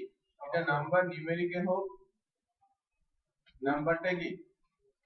বুলিয়ানে হোক নাম্বারটা ভেরিয়েবলের ভ্যালু রিয়েল হোক আর স্ট্রিং হোক। তার মানে কি? এই ভ্যালুটা ইন্টিজার এটাও কি? সেম ভ্যালু আর কি। আমার দরকার কি? সেম ভ্যালু এখন এটা স্ট্রিং অর রিয়েল অর কি? নিউমেরিক এটা ম্যাটার না। ভ্যালু দুইটা সমান হলে সে কি বলবে? ট্রু মানে আমার বি এর ভ্যালু কত? 10 আর সি এর ভ্যালু কত? স্ট্রিং 10 নট 10 এটা কিন্তু স্ট্রিং আমি সাইন দিয়েছি কোটেশন রাইট ওটা একটি স্ট্রিং 10 আর কি নিউমেরিক 10 বাট এটা রিটার্ন করবে কি? ট্রু রাইট সে রিটার্ন করবে ট্রু কারণ তার পাওয়া দরকার কি? শুধু সেম ভ্যালু মানে ডেটা টাইপ কি? সেটা কনসার্ন না। সিকিউরিটি অপারেটরে ডেটা টাইপ ইম্পর্টেন্ট না। ভ্যালুটাই ইম্পর্টেন্ট ভ্যালু সমান হলে ট্রু না হলে এক্ষেত্রে ভ্যালু সমান হলেই ফলস আদারওয়াইজ যখন সমান হয়ে যাবে তখনই ফলস হয়ে যাবে। আদারওয়াইজ অলওয়েজ কি থাকবে? উল্টোটা হ্যাঁ? সমান হলে ট্রু আর না হলে ফলস এখানে সমান হলে ফলস আদারওয়াইজ এটা এখন আসি আইডেন্টিটি আইডেন্টিটির ক্ষেত্রে ডলার বি আর ডলার সি যদি লিখি, সেক্ষেত্রে এটা ফলস হয়ে যাবে। কেন? এটা value same data type different যদি ডেটা টাইপও সেম হয় সেক্ষেত্রে এটা ট্রু হবে মানে দুইটাই ট্রু হতে হবে। ভেতরে ভ্যালুও সমান হতে হবে টাইপও সেম হতে হবে। তাহলে এটা আইডেন্টিটি হবে। আর তার উল্টোটা কি? নট ঠিক আছে? এই আইডেন্টিটি অপারেটরের ইউজ আছে।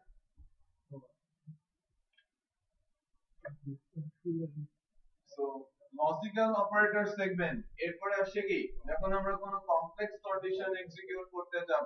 আমি আগেই বলেছি লজিক্যাল সেগমেন্টটা মোস্ট ইম্পর্টেন্ট আমরা যদি কোনো প্রবলেমকে লজিকে কনভার্ট করতে না পারি, আবারও বলছি, কোনো প্রবলেমকে যদি আমরা লজিকে কনভার্ট করতে না পারি, তাহলে ওই প্রবলেমটা সলিউশন আকারে আনা সম্ভব না। তাহলে যে ইললজিক্যাল বলে না ইললজিক্যাল হলে কি? সলিউশন হবে। যা তাই তো করা যাবে না রাইট বাট মানুষের চিন্তাধারার কাছাকাছি মানে অবাস্তব কিছু ছাড়া, ওই অবাস্তবই ইললজিক্যাল বলা হয়। সবকিছুই প্রোগ্রামিং এর মাধ্যমে সলিউশন দেয়া যায়, ঠিক আছে? তো লজিক্যাল অপারেটর লজিক গেট বলে একটা বিষয় আছে। লজিক গেটে গুলোর মধ্যে তিনটা গেট প্রোগ্রামিং এ ইউজ হয়। আর এই তিনটা গেটের মধ্যে আছে এন্ড অর আর নট এদের সিম্বল হচ্ছে দিস এটা এন্ড এটাকে বলা হয় কি? অর আর এটাকে বলা হয়ে থাকে নট এন্ড অর নট এদেরকে বলা হয় টু ইনপুট আর এটা কি? ওয়ান ইনপুট টু ইনপুট কেন বলছি? এই এন্ড গেট এবং অর গেট এরা মূলত কাজ করে বুলিয়ান ভ্যালু নিয়ে। এটা টু ইনপুট এখানে একটা বুলিয়ান ভ্যালু থাকবে, এখানে একটা বুলিয়ান ভ্যালু থাকবে। টোটালটা মিলে কি হবে? কন্ডিশন ফাইনাল একটা আউটপুট আসবে সো এখানে একটা কন্ডিশন এখানে একটা কন্ডিশন যেটা বুলিয়ান রিটার্ন করতে পারে। অথবা একটা ভেরিয়েবল যার ভিতরে বুলিয়ান ভ্যালু আছে। কন্ডিশন যে হতে হবে, এটা কিন্তু ম্যান্ডেটরি না। আমার একটা ভেরিয়েবলের ভিতরে তো বুলিয়ান ভ্যালু থাকতে পারে। সেও কি আমার এর লেফটে বসতে পারে? রাইটে বসতে পারে। অরের বেলাও তাই। আবার কি আমার দুটো ভেরিয়েবল আছে, যেটা আমরা কন্ডিশনাল অপারেটর দিয়ে কনভার্ট করে বুলিয়ানে ট্রান্সফার করে নিচ্ছি। আমার হাতে ডিরেক্ট বুলিয়ান ভ্যালু নেই। আমি কি বুলিয়ান বের করে নিতে পারব না কন্ডিশনাল অপারেটর দিয়ে? পারব তো? বোঝা যায় না। হ্যাঁ? হ্যাঁ? অনেকেই বুঝতে পারে না পেছনে দিকে মাথা নাড়াচ্ছে। দেখেন, আমি যদি বলি যে dollar a equal to dollar b equal hundred R dollar c equal hundred and one right তিনটা ভেরিয়েবল এখন আমি যাচ্ছি যে এই বুলিয়ান ভ্যালু নেবে, এই পাশে আমার বুলিয়ান ভ্যালুই থাকতে হবে, সেক্ষেত্রে আমি কীভাবে বুলিয়ান দেব? লাইক আমি যদি বলি যে ডলার এ আর এই পাশে যদি আমি বলি যে dollar b less then dollar a sorry less then dollar c dollar a এর মধ্যে তো বুলিয়ান আছে বাট এই দুটো তো নাম্বার এটা তো বুলিয়ান ডিরেক্ট আমি এখানে এ আর বি বি বা বি বা কে বসাতে পারব না। বি সি বসালে কি? এই এন্ড অপারেটর কাজ করতে পারবে? তার প্রাথমিক রুলস কি? দুই পাশে যেটা বুলিয়ান ভ্যালু হতে হবে। আদারওয়াইজ এরর সিনট্যাক্স দেখাবে। দুই পাশে দুটো বুলিয়ান হতে হবে। তো একটা বুলিয়ান আমি পেয়েছি ভেরিয়েবলের মধ্যেই বুলিয়ান আছে। আরেকটা কি আমাকে বানিয়ে নিতে হচ্ছে, তাই না? তো আমি অ্যাকচুয়ালি ওয়ে বলছি যে এখানে কন্ডিশনও থাকতে পারে, আবার ডিরেক্ট ভেরিয়েবলও বসতে পারে, যার ভিতরে কি আছে? বুলিয়ান মূল, মূলত এখানে দরকার পড়বে কি? Boolean value and gate or gate not gate এরা কাজ করে কি? বুলিয়ান ভ্যালু নিয়ে। এই দুইজন টু ইনপুট আর নটটা কি? ওয়ান ইনপুট আচ্ছা। এখন বাইনারি বলা হয়, এদেরকে বলা হয় logical or binary operator binary two input এটা টু ইনপুট মানে টু ডিজিট ভ্যালু নিয়ে কাজ করে। ওয়ান আর জিরো ভ্যালু নিয়ে কাজ করে। বাইনারি টু ডিজিট বলা হয়, আর এন্ড অর টু দুজনই কি? ডাবল ইনপুটেড টু ইনপুটেড এখন পাওয়ার হচ্ছে কত? টু কম্বিনেশন কয়টা হবে? চারটা। দুইটা ভ্যালুর জিরো আর ওয়ানের কম্বিনেশন চারটা কীভাবে হয়? জিরো জিরো হতে পারে। জিরো ওয়ান হতে পারে। ওয়ান জিরো হতে পারে। ওয়ান ওয়ান হতে পারে। তাই না? চারটা কম্বিনেশন মিন্স আমি এগুলো তো বোঝাচ্ছি যে আমার দুইটা কন্ডিশনই ফলস লেফট ও ফলস রাইট ও ফলস আলটিমেট আউটপুট কি? আমার ফলস আমার left false right true that means one আমার আউটপুট কি? ফলস আমার রাইট ট্রু লেফট ফলস আমার আউটপুট কি? ফলস আমার left one right one output আমার ওয়ান এন্ড এর ক্ষেত্রে, যদি আমার গেট হয় এন্ড তাহলে লেফট ট্রু এবং রাইট ট্রু হলেই দেন কি হবে? আমার টোটাল আউটপুটটা টোটাল কন্ডিশনটা কি হবে? তার মানে আমার রেঞ্জটা কি হতে হবে? মনে করেন আমি একটা চেকিং বসাতে চাচ্ছি যে এজ এজটা আঠারো থেকে ষাটের মধ্যে হলেই সে আমার সাইটে রেজিস্ট্রেশন করতে পারবে। এজ যদি আঠারো থেকে ষাটের মধ্যে হয় দেন সে আমার সাইটে রেজিস্ট্রেশন করতে পারবে। দেখে একটা কন্ডিশন দিয়ে করা সম্ভব? কোনোভাবে পসিবল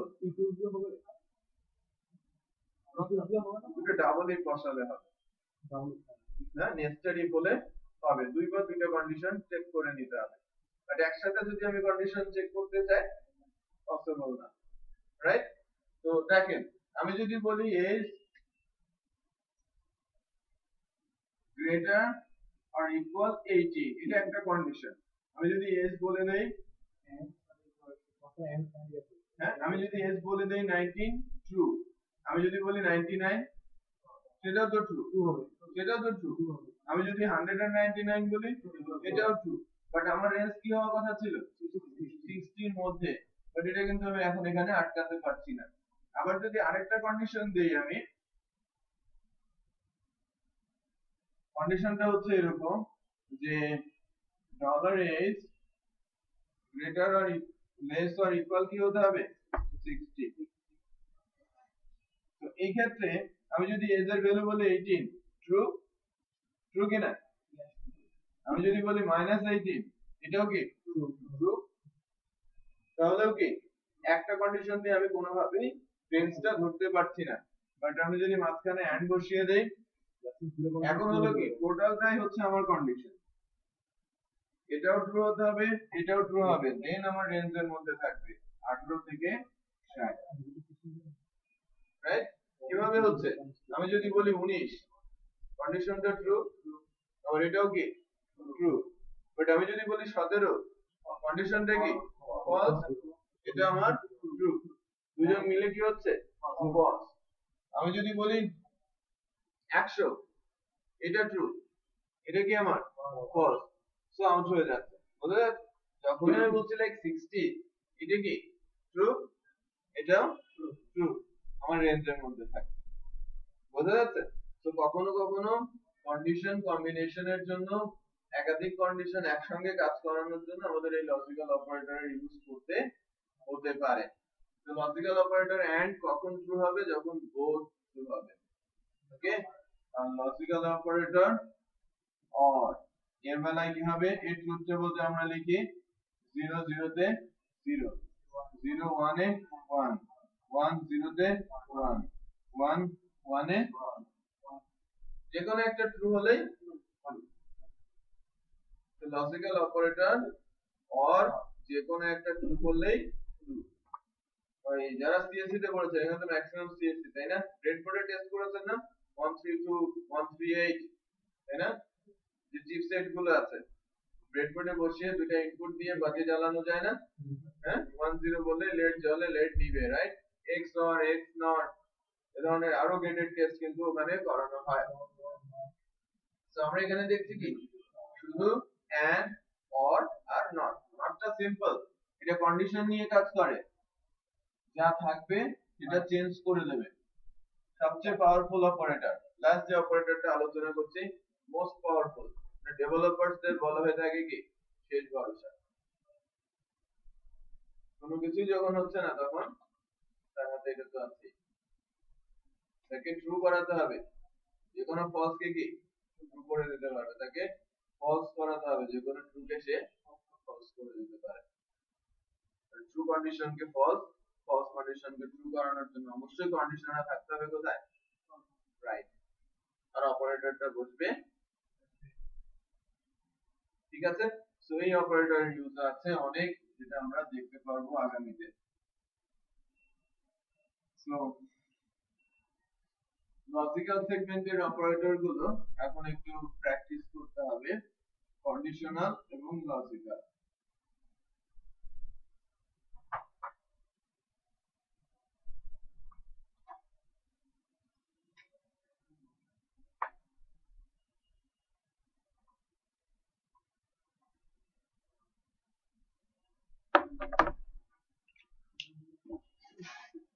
নামাজের একটা দশ মিনিটের ব্রেক দিচ্ছি।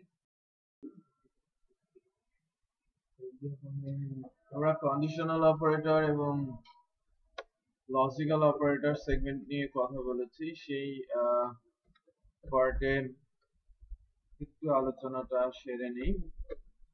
দেখেন, আমি যদি কন্ডিশনাল এবং লজিক্যালের ক্ষেত্রে বলি, আমি কিছুক্ষণ আগেই বলেছি যে কন্ডিশনাল অপারেটর যদি আমরা লিখি যে dollar a greater then dollar b সেক্ষেত্রে এই যে কন্ডিশনটা কি রিটার্ন করবে? ফলস হ্যাঁ? এই নিচের কন্ডিশনটা কি রিটার্ন করবে? ফলস তার মানে আউটপুট আসবে কি? নাল পিএসপি তে আউটপুটটা ব্ল্যাঙ্ক নাল দেখাবে বাট যদি কন্ডিশনটা ট্রু হয় কন্ডিশনটা কি এখন ট্রু হয়ে গেছে না? আউটপুট দেখাবে কি? 1 তো লজিক্যাল অপারেটর বা কন্ডিশনাল অপারেটর বুলিয়ান ভ্যালু নিয়ে যখন কাজ করে তখন 1 এই এটা রিটার্ন করছে কি? ট্রু হলে 1 আর ফলস হলে greater equal less than less equal যদি আমি বলি ইকুয়াল ইকুয়াল হ্যাঁ? ইকুয়াল ইকুয়াল এর ক্ষেত্রে এই অপারেটরটা কি রিটার্ন করবে? ডেফিনেটলি ফলস ওকে তো আমি যদি বলি, এটা কি? স্টিল ট্রু তাই না? আমার উপরের ভ্যালু থাউজেন্ড পরের ভ্যালুটাও কি? Thousand so equality operator return করছে কি? ট্রু ইকুয়ালিটিটা রিটার্ন করছে ট্রু সে কিন্তু ডেটা টাইপ চেক করছে না। ডেটা টাইপ চেক না করে ভ্যালু সমান দেখে সে বলে দিচ্ছে ট্রু ঠিক আছে? আর তিনটা দিলে সে কি হয়ে যাবে? ফলস তৃতীয়টা কি করে? কন্ডিশনের সাথে সাথে মানে ভ্যালুর সাথে সাথে সে ডেটা টাইপটাকেও চেক করে নেয়। এখন একটু খেয়াল করেন। আমি যদি বলি not not double equal true. হ্যাঁ নট ডাবল ইকুয়াল মানে দুজন সমান ভ্যালু বাট ডেটা টাইপ তো ডিফারেন্ট এই কারণে তারা সমান না রাইট সেই কারণে তারা সমান না। ভ্যালু দুটো ডিফারেন্ট হলে একদম টোটালি ডিফারেন্ট মানে false definitely right but value সমান বাট ডেটা টাইপ ডিফারেন্ট সেক্ষেত্রেও কি? ফলস মানে সেক্ষেত্রে কি ট্রু বিষয়টা হ্যাঁ? টোটালি উল্টোটা। তো logical operator conditional operator segment নিয়ে গেল। এখন যদি আমরা লজিক্যাল অপারেটরের কনসেপ্টে আসি এন্ড অর নট তো সেক্ষেত্রে আমাকে কন্ডিশন বেসিস করতে হবে যে লাইক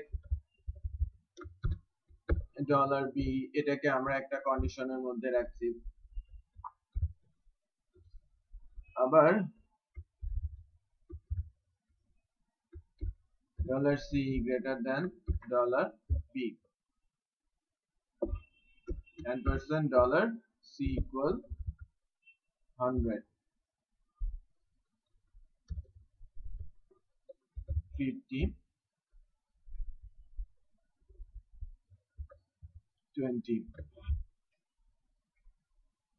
এক্ষেত্রে কি হবে আর তাই না মানে আমার আরও আমার টোটাল আউটপুটটা কত হবে total output false ওই আমরা ভাবে দিতে পারি is greater equal less equal 18 or 60 এই ধরনের ভ্যালু কিন্তু দিয়ে আমরা চেক করতে পারি তো and or not, আমরা লজিক্যাল অপারেটরগুলো ঠিক এভাবে ইউজ করে দেখতে পারি। আমার এই কন্ডিশনটা কি? ট্রু তাই না? C গ্রেটার দ্যান b না? আমার কন্ডিশনটা ট্রু বাট সামনে যদি আমরা নট বসিয়ে দেই, কি হয়ে যাবে? ফলস করে ফেলবে। তো যে কোনো ট্রু কন্ডিশনকে ফলস আর যে কোনো ফলস কন্ডিশনকে ট্রু করার জন্য দেখেন ফলস কন্ডিশনকে ট্রু করার কাজে আমরা এটাকে ইউজ করতে পারি। ঠিক আছে? আচ্ছা এবার আমরা আলোচনায় নিয়ে আসব স্টেটমেন্টগুলো ওকে নেক্সট ক্লাসে আমরা ইউজার ইনপুট নিতে শিখব। ইউজার থেকে ইনপুট লাইক অ্যারে আমাদের শিখতে হবে। স্টেটমেন্টের আগে আমরা অ্যারে নিয়ে আলোচনা করব এখন। অ্যারেটা একটু দেখে নেন লেকচার শিট থেকে।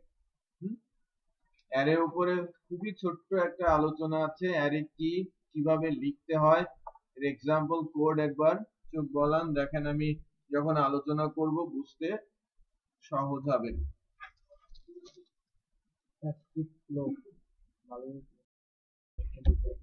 চলে আসছে।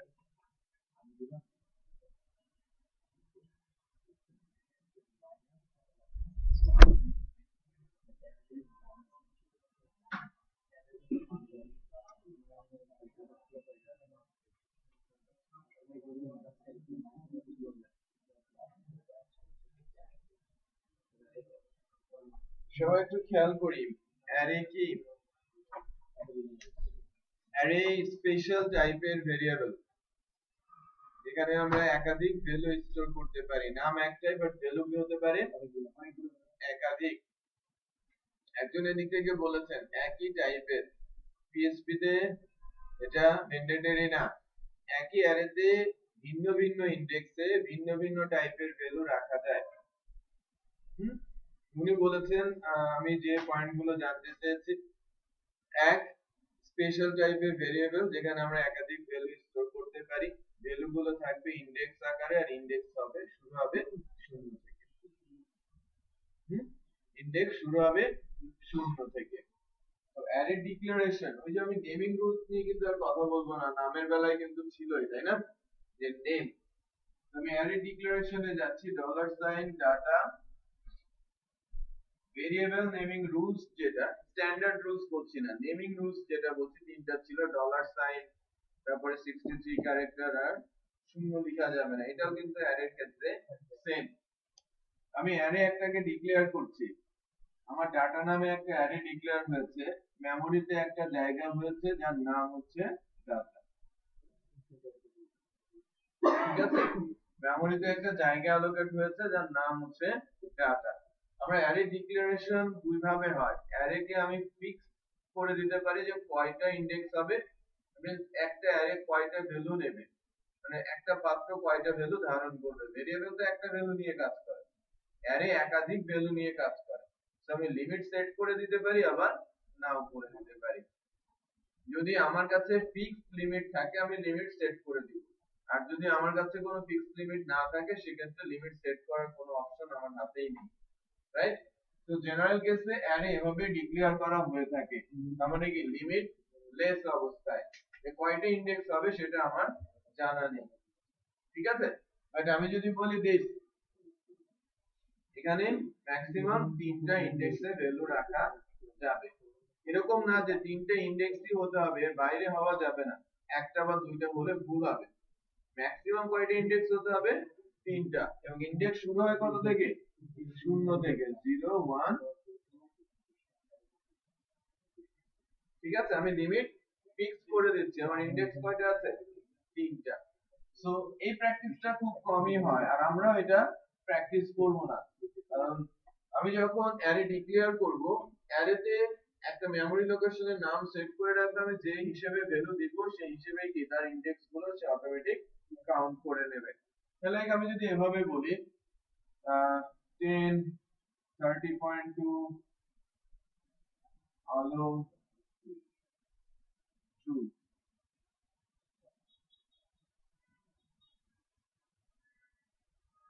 এটা বুলিয়ান ভ্যালু ট্রু হ্যাঁ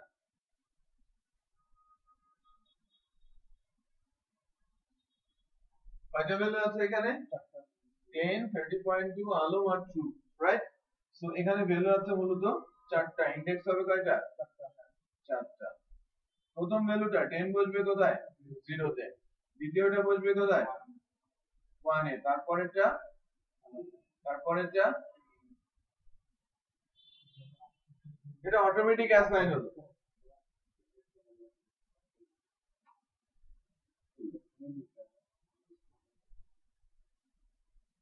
বুঝতে পারছি? এটা অটো অ্যাসাইন হবে। প্রথম ভ্যালুটা জিরোতে যাবে তার পরের ভ্যালুটা ওয়ানে যাবে তার পরের ভ্যালুটা টুতে যাবে তার পরের ভ্যালুটা থ্রিতে যাবে।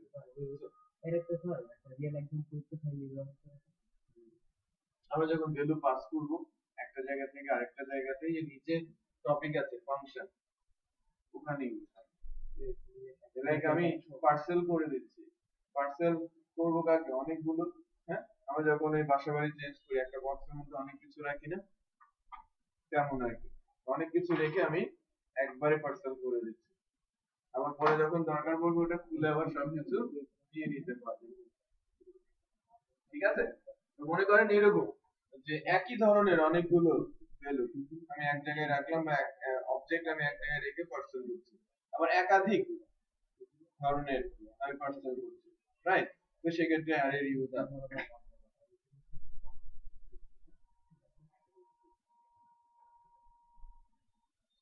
তো এটার একটা নাম আছে। অ্যারে মূলত তিনটা টাইপ অ্যারে কয়টা টাইপ আছে?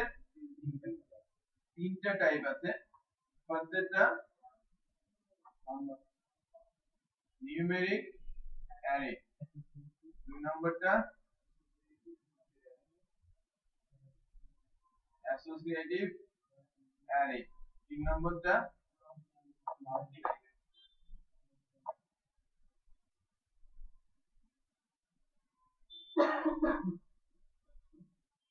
মাল্টি ডাইমেনশনাল অ্যারে কয়টা ডাইমেনশন মূলত পিএইচপি তে অ্যারেতে দুইটা ডাইমেনশন হয়, যার ভেতরে আরও ডাইমেনশন ক্রিয়েট হতে পারে।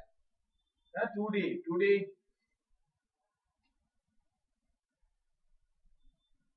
হরিজন্টাল স্পেস আর একটা কি? ভার্টিক্যাল এটা কয়টা ডাইমেনশন তাহলে আমি পরে আসি। নিউমেরিক অ্যাসোসিয়েটিভ আর মাল্টি ডাইমেনশনাল এই তিন ধরনের অ্যারে আছে। আমি আজকে মূলত এই নিউমেরিক আর অ্যাসোসিয়েটিভ আলোচনা করব এবং এটা one dimensional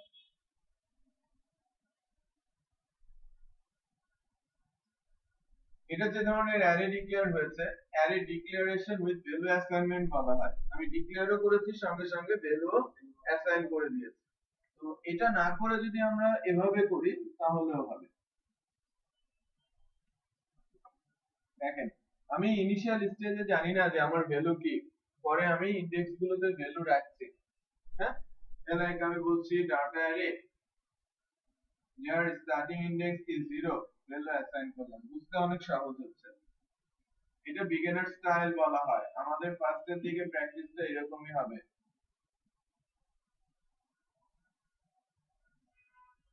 index 2 data 3 just ওখানে যেটা লিখে দেবে এটা আরও সহজ। যে জিরো তম ইন্ডেক্স এ 10 1 এ 30 দেন দেন দেন এভাবে আসে রাইট আমি বলছি পুরো, এটাকে বলছি পুরো একটা অ্যারে যার ভেতরে চারটা ভ্যালু আছে। বাট আমি যদি এটাকে আলাদা করে বলি, এখানে কয়টা ভ্যালু আছে? একটা। এবং একটা ভ্যালু ধারণ করছে একটা ইনডেক্স এটা কি একটা ভেরিয়েবলের সমান। তার মানে আমরা বলতে পারি একটা variable equal one array index বলতে পারি না। একটা অ্যারের ইনডেক্স থেকে আমি একটা ভেরিয়েবল অ্যাসাইন করতে পারি, অথবা একটা অ্যারের ইনডেক্সে একটা ভেরিয়েবল অ্যাসাইন করতে পারি তাই তো। একটা ভেরিয়েবলে তো একাধিক ভ্যালু থাকবে না, থাকবে? তাহলে ওইটাকে আমরা একটা অ্যারের ইনডেক্সের মধ্যে রাখতে পারি। বোঝা যাচ্ছে? অনেক সময় এই ধরনের কাজ কিন্তু করা হবে। এ কারণে আমি আগে থেকে বিষয়গুলো জানিয়ে রাখছি। তো, এটাকে বলা হয় বিগিনার্স আর এর আগে যেটা লিখেছিলাম ইন্টারমিডিয়েট আমাদের যদি উপরেরটা বুঝতে সমস্যা হয় আমরা এটা ফলো করব। কোনো সমস্যা নাই। ঠিক আছে? প্রাথমিকভাবে কোড দুই লাইন বেশি লিখব। পরে যখন বুঝে যাব তখন আপনারা নিজে নিজেই ওই স্টাইল ফলো করবেন। ঠিক আছে? আচ্ছা। তো এটা ছিল নিউমেরিক এটা নিউমেরিক টাইপের অ্যারে এক্সাম্পল কেন বলছি? ইনডেক্সগুলো কি? নাম্বারে এবং শুরু হয়েছে কত দিয়ে? শূন্য থেকে। সেটাকে আমরা বলছি নিউমেরিক অ্যারে কোশ্চিন আছে কারও নিউমেরিক অ্যারেতে কোশ্চিন নেই।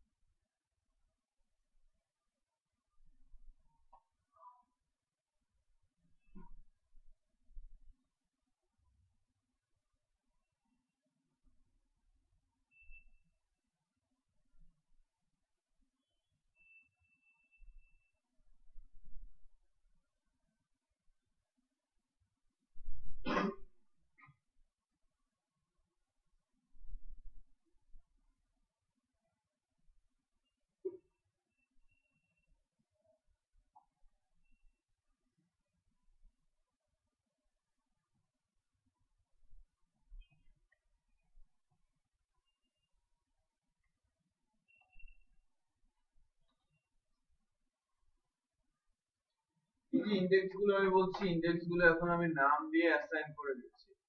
এখন আর জিরো ওয়ান টু থ্রি নেই। আমি যদি জিরো ওয়ান টু তে যেতাম, আর যখন আমি রিয়েল প্রোগ্রামিং এ যাচ্ছি, কোনো একটা সফটওয়্যার ডেভেলপ করছি, ওখানে numeric array use very few এরিয়াতে হয়। খুব কম ক্ষেত্রেই হয়। মানে অ্যাসোসিয়েটিভ অ্যারে ইউজ হয়। রিয়েল ডাটা আমি যখন একটা ফর্ম ফিল আপ করাচ্ছি, মনে করেন তার নাম দিতে হবে, তার বাবার নাম দিতে হবে, মায়ের নাম দিতে হবে হ্যাঁ? তারপরে তার প্রেজেন্ট অ্যাড্রেস তার পার্মানেন্ট অ্যাড্রেস তার ন্যাশনাল আইডি কার্ড নাম্বার বা আদার্স এরকম বিশ পঁচিশটা ফিল্ড আমাকে ফিল আপ করতে হচ্ছে। তো আমি কোন ফিল্ডে কি রেখেছি এটা যদি আমি অ্যারেতে রাখতে চাই নাম্বার দিয়ে আমাকে কি বারবার ব্যাক করতে হবে না? কোন ভ্যালু কত নাম্বারে রেখেছি। বাট আমি যদি মিনিংফুল একটা নাম অ্যাসাইন করি ইন্ডেক্সগুলো বুঝতে সুবিধা বুঝতে হবে আমাকে বারবার গুনতে হবে না কিন্তু। এটা কততম ইন্ডেক্সে কি আছে?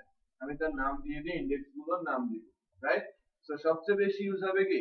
এই অ্যাসোসিয়েটিভ অ্যারে ইন্ডেক্স আর এই নামগুলো কি ওই স্ট্যান্ডার্ড ফলো করে হবে? আমি যেভাবে বলেছিলাম। সো এই নামগুলো আমরা রাখছি কীভাবে? স্ট্রিং আকারে। অ্যাসোসিয়েট করে দিচ্ছি কোনো একটা নাম দিয়ে কাকে? ইন্ডেক্স কে। এই জন্য এটাকে বলা হচ্ছে কি অ্যাসোসিয়েটিভ অ্যারে ওকে যে ধরনের নাম, সে ধরনের স্পেসিফিক মিনিংফুল ভ্যালু আমরা রাখছি মিনিংফুল নেমের এগেনস্টে সো অ্যারে কি নিউমেরিক অ্যারে কি আর অ্যাসোসিয়েটিভ অ্যারে কি এটা নিয়ে কোশ্চেন থাকলে এখন বলতে হবে স্যার নিউ অ্যাসোসিয়েটিভ অ্যারে যেটা আছে এটাতে এই ক্যারেক্টার যেগুলো ব্র্যাকেটের ভিতরে আছে এই ব্র্যাকেটের ব্র্যাকেটের ভিতরে ক্যারেক্টারের যে লেটারগুলো আছে সেই লেটারগুলোকে আলাদাভাবে চুজ করার মতো কোনো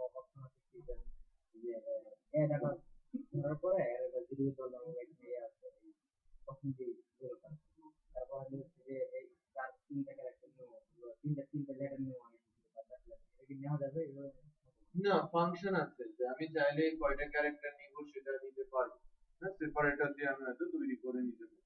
কয়টা ক্যারেক্টার আছে এর ভিতরে স্ট্রিং এ, সেটা আমরা বের করতে পারব, কতটুকু আমরা নিতে চাচ্ছি, এটা প্রোগ্রাম করে আমাকে নিতে হবে। একদম আমি একটা স্ট্রিং দিয়ে দিলাম, তার তিনটা ক্যারেক্টার রিটার্ন করে ধরনের ফাংশন দিয়ে বাট কম্বিনেশন করে দুই তিনটা ফাংশন ইউজ করে আমরা এই সলিউশন বানাতে পারব। ঠিক আছে?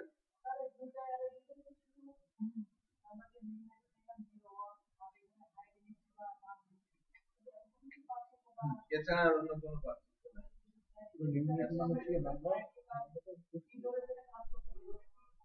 কিছু নানা নিউমেরিকের ক্ষেত্রে ইন্ডেক্স ধরে কাজ করবেন এখানে নাম ধরে কাজ পার্থক্য নেই। ওখানে কি? ওখানে সিরিয়াল মেইনটেইন করতে হয় আর যেগুলো বাদ পড়ে যায় সেগুলোতে নাল ভ্যালু ঢুকে যায় আর এখানে তো সেই চান্স নেই। ঠিক আছে? বেসিক্যালি দুইটাই পার্থক্য। আমি মাল্টি ডাইমেনশনের একটু জাস্ট ধরিয়ে দিচ্ছি। মাল্টি ডাইমেনশন বিষয়টা কি? এটা ডিটেল আলোচনা করব আরেকটু পরে। যখন আমরা ডেটাবেস শিখব তখন ওটা আরেকটু ভালো করে বোঝা যাবে। বাট মাল্টি ডাইমেনশন বলতে 2D বোঝায় আর 2D বেস্ট এক্সাম্পল কি? টেবিল টেবিলের দুইটা ডাইমেনশন একটা হচ্ছে রো, আরেকটা কি? কলাম। রো আর কলাম এর জন্য যখন অ্যারে ডিক্লেয়ার করা হয়, যদি তার ডাইমেনশন থাকে দুইটা, প্রথমটাকে রো বলা হয়, পরেরটাকে কলাম বলা হয়। ঠিক আছে?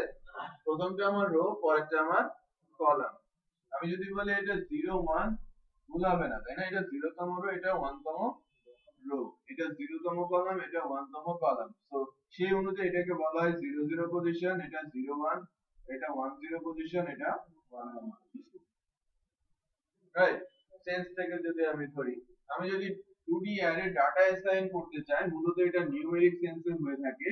আমি যদি বলি ডাটা অ্যারে ইন্ডেক্স 0 0 আসবে 50 অ্যাকচুয়ালি 50 ভ্যালুটা আমি অ্যাসাইন করছি কোথায়? আমি বলছি ইন্ডেক্স 0 1 60 এই ভ্যালুটা অ্যাসাইন হচ্ছে কোথায়? আবার যদি বলি আমি ইন্ডেক্স 02 02 আছে? ক্রিয়েট হবে রাইট ক্রিয়েট করে নিতে হবে এখানে আসবে কত? লাইক আমি 70 দিয়েছি হুম? ঠিক সিমিলার ভাবে 11 সরি 10 11 12 তে value আসবে। দুইটা ডাইমেনশন এরকম কি টেবিল হয়? একটা রোতে এক ধরনের কলাম, আরেকটা রোতে আরেক ধরনের কলাম। টেবিলের রোজ কি? রো আর কলাম কি? প্রতিটা রোতে সমান সংখ্যক কলাম থাকতে হবে। কেমন তাই। তো এটা এলাবোরেট হবে। আমরা যখন আরও পরবর্তী ইস্যুগুলো দেখব। আর মাল্টি ডাইমেনশনাল অ্যারেতে ফার্স্ট ইন্ডেক্সটা রোটা মূলত নিউমেরিকই হয়। সেকেন্ড যেটা কলাম এটা কখনো নিউমেরিক কখনো অ্যাসোসিয়েটিভ কারণ আমরা যখন এটা ডেটাবেস নিয়ে কাজ করি ডেটাবেসের টেবিলের নামগুলো ফিল্ড নামগুলো এই জায়গায় চলে আসে। তো আমরা এখনও যদিও জিনিসগুলো জানি না, এই জন্য কথাগুলো উপর দিয়ে যাওয়ার কথা। রাইট ম্যাক্সিমাম যারা জানি তাদের কিছুটা ভেতর দিয়ে যাওয়ার কথা।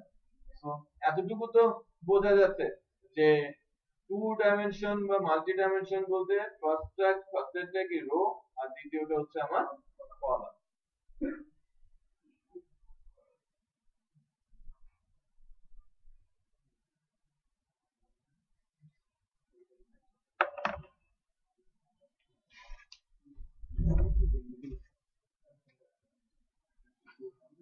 আচ্ছা আমি একটু ধরিয়ে দিচ্ছি যে কয়েকটা মানে নেক্সট ক্লাসের হ্যাঁ হ্যাঁ। হ্যাঁ। আমি নেক্সট ক্লাসের বিষয়গুলো তো বলবোই। নেক্সট ক্লাসের জন্য কি কি দেখে আসবে স্টেটমেন্ট সেগমেন্টটা দেখে আসবেন। আমি অ্যারে নিয়ে যদিও আলোচনা শুরু করব অ্যারে মেথড ইউজ দেখাবো আর ইউজার ইনপুট ওইটার উপরে জাস্ট আলোচনাটা শুরু করে দিচ্ছি যে বিষয়ে কিছুটা পড়াশোনা করে আসবেন। আমি কন্টিনিউ করছিলাম অ্যারেতে এবং অ্যারে কি অ্যারে টাইপ বলেছি এবং তিন টাইপে কিছু কিছু সংজ্ঞায়িত করে যা দেখানোর চেষ্টা করেছি। পিএসপি তে আটটা গ্লোবাল অ্যারে আছে। এগুলো আমাদের একটু দেখে আসতে হবে। পিএসপি তে আটটা গ্লোবাল অ্যারে আছে। যার মধ্যে প্রথমেই আছে dollar underscore post global array গুলো শুরু হয় কি? আন্ডারস্কোর দিয়ে। Global array dollar underscore post dollar underscore get dollar underscore session dollar underscore cookie এরপরে আছে dollar underscore server dollar underscore request dollar underscore env dollar underscore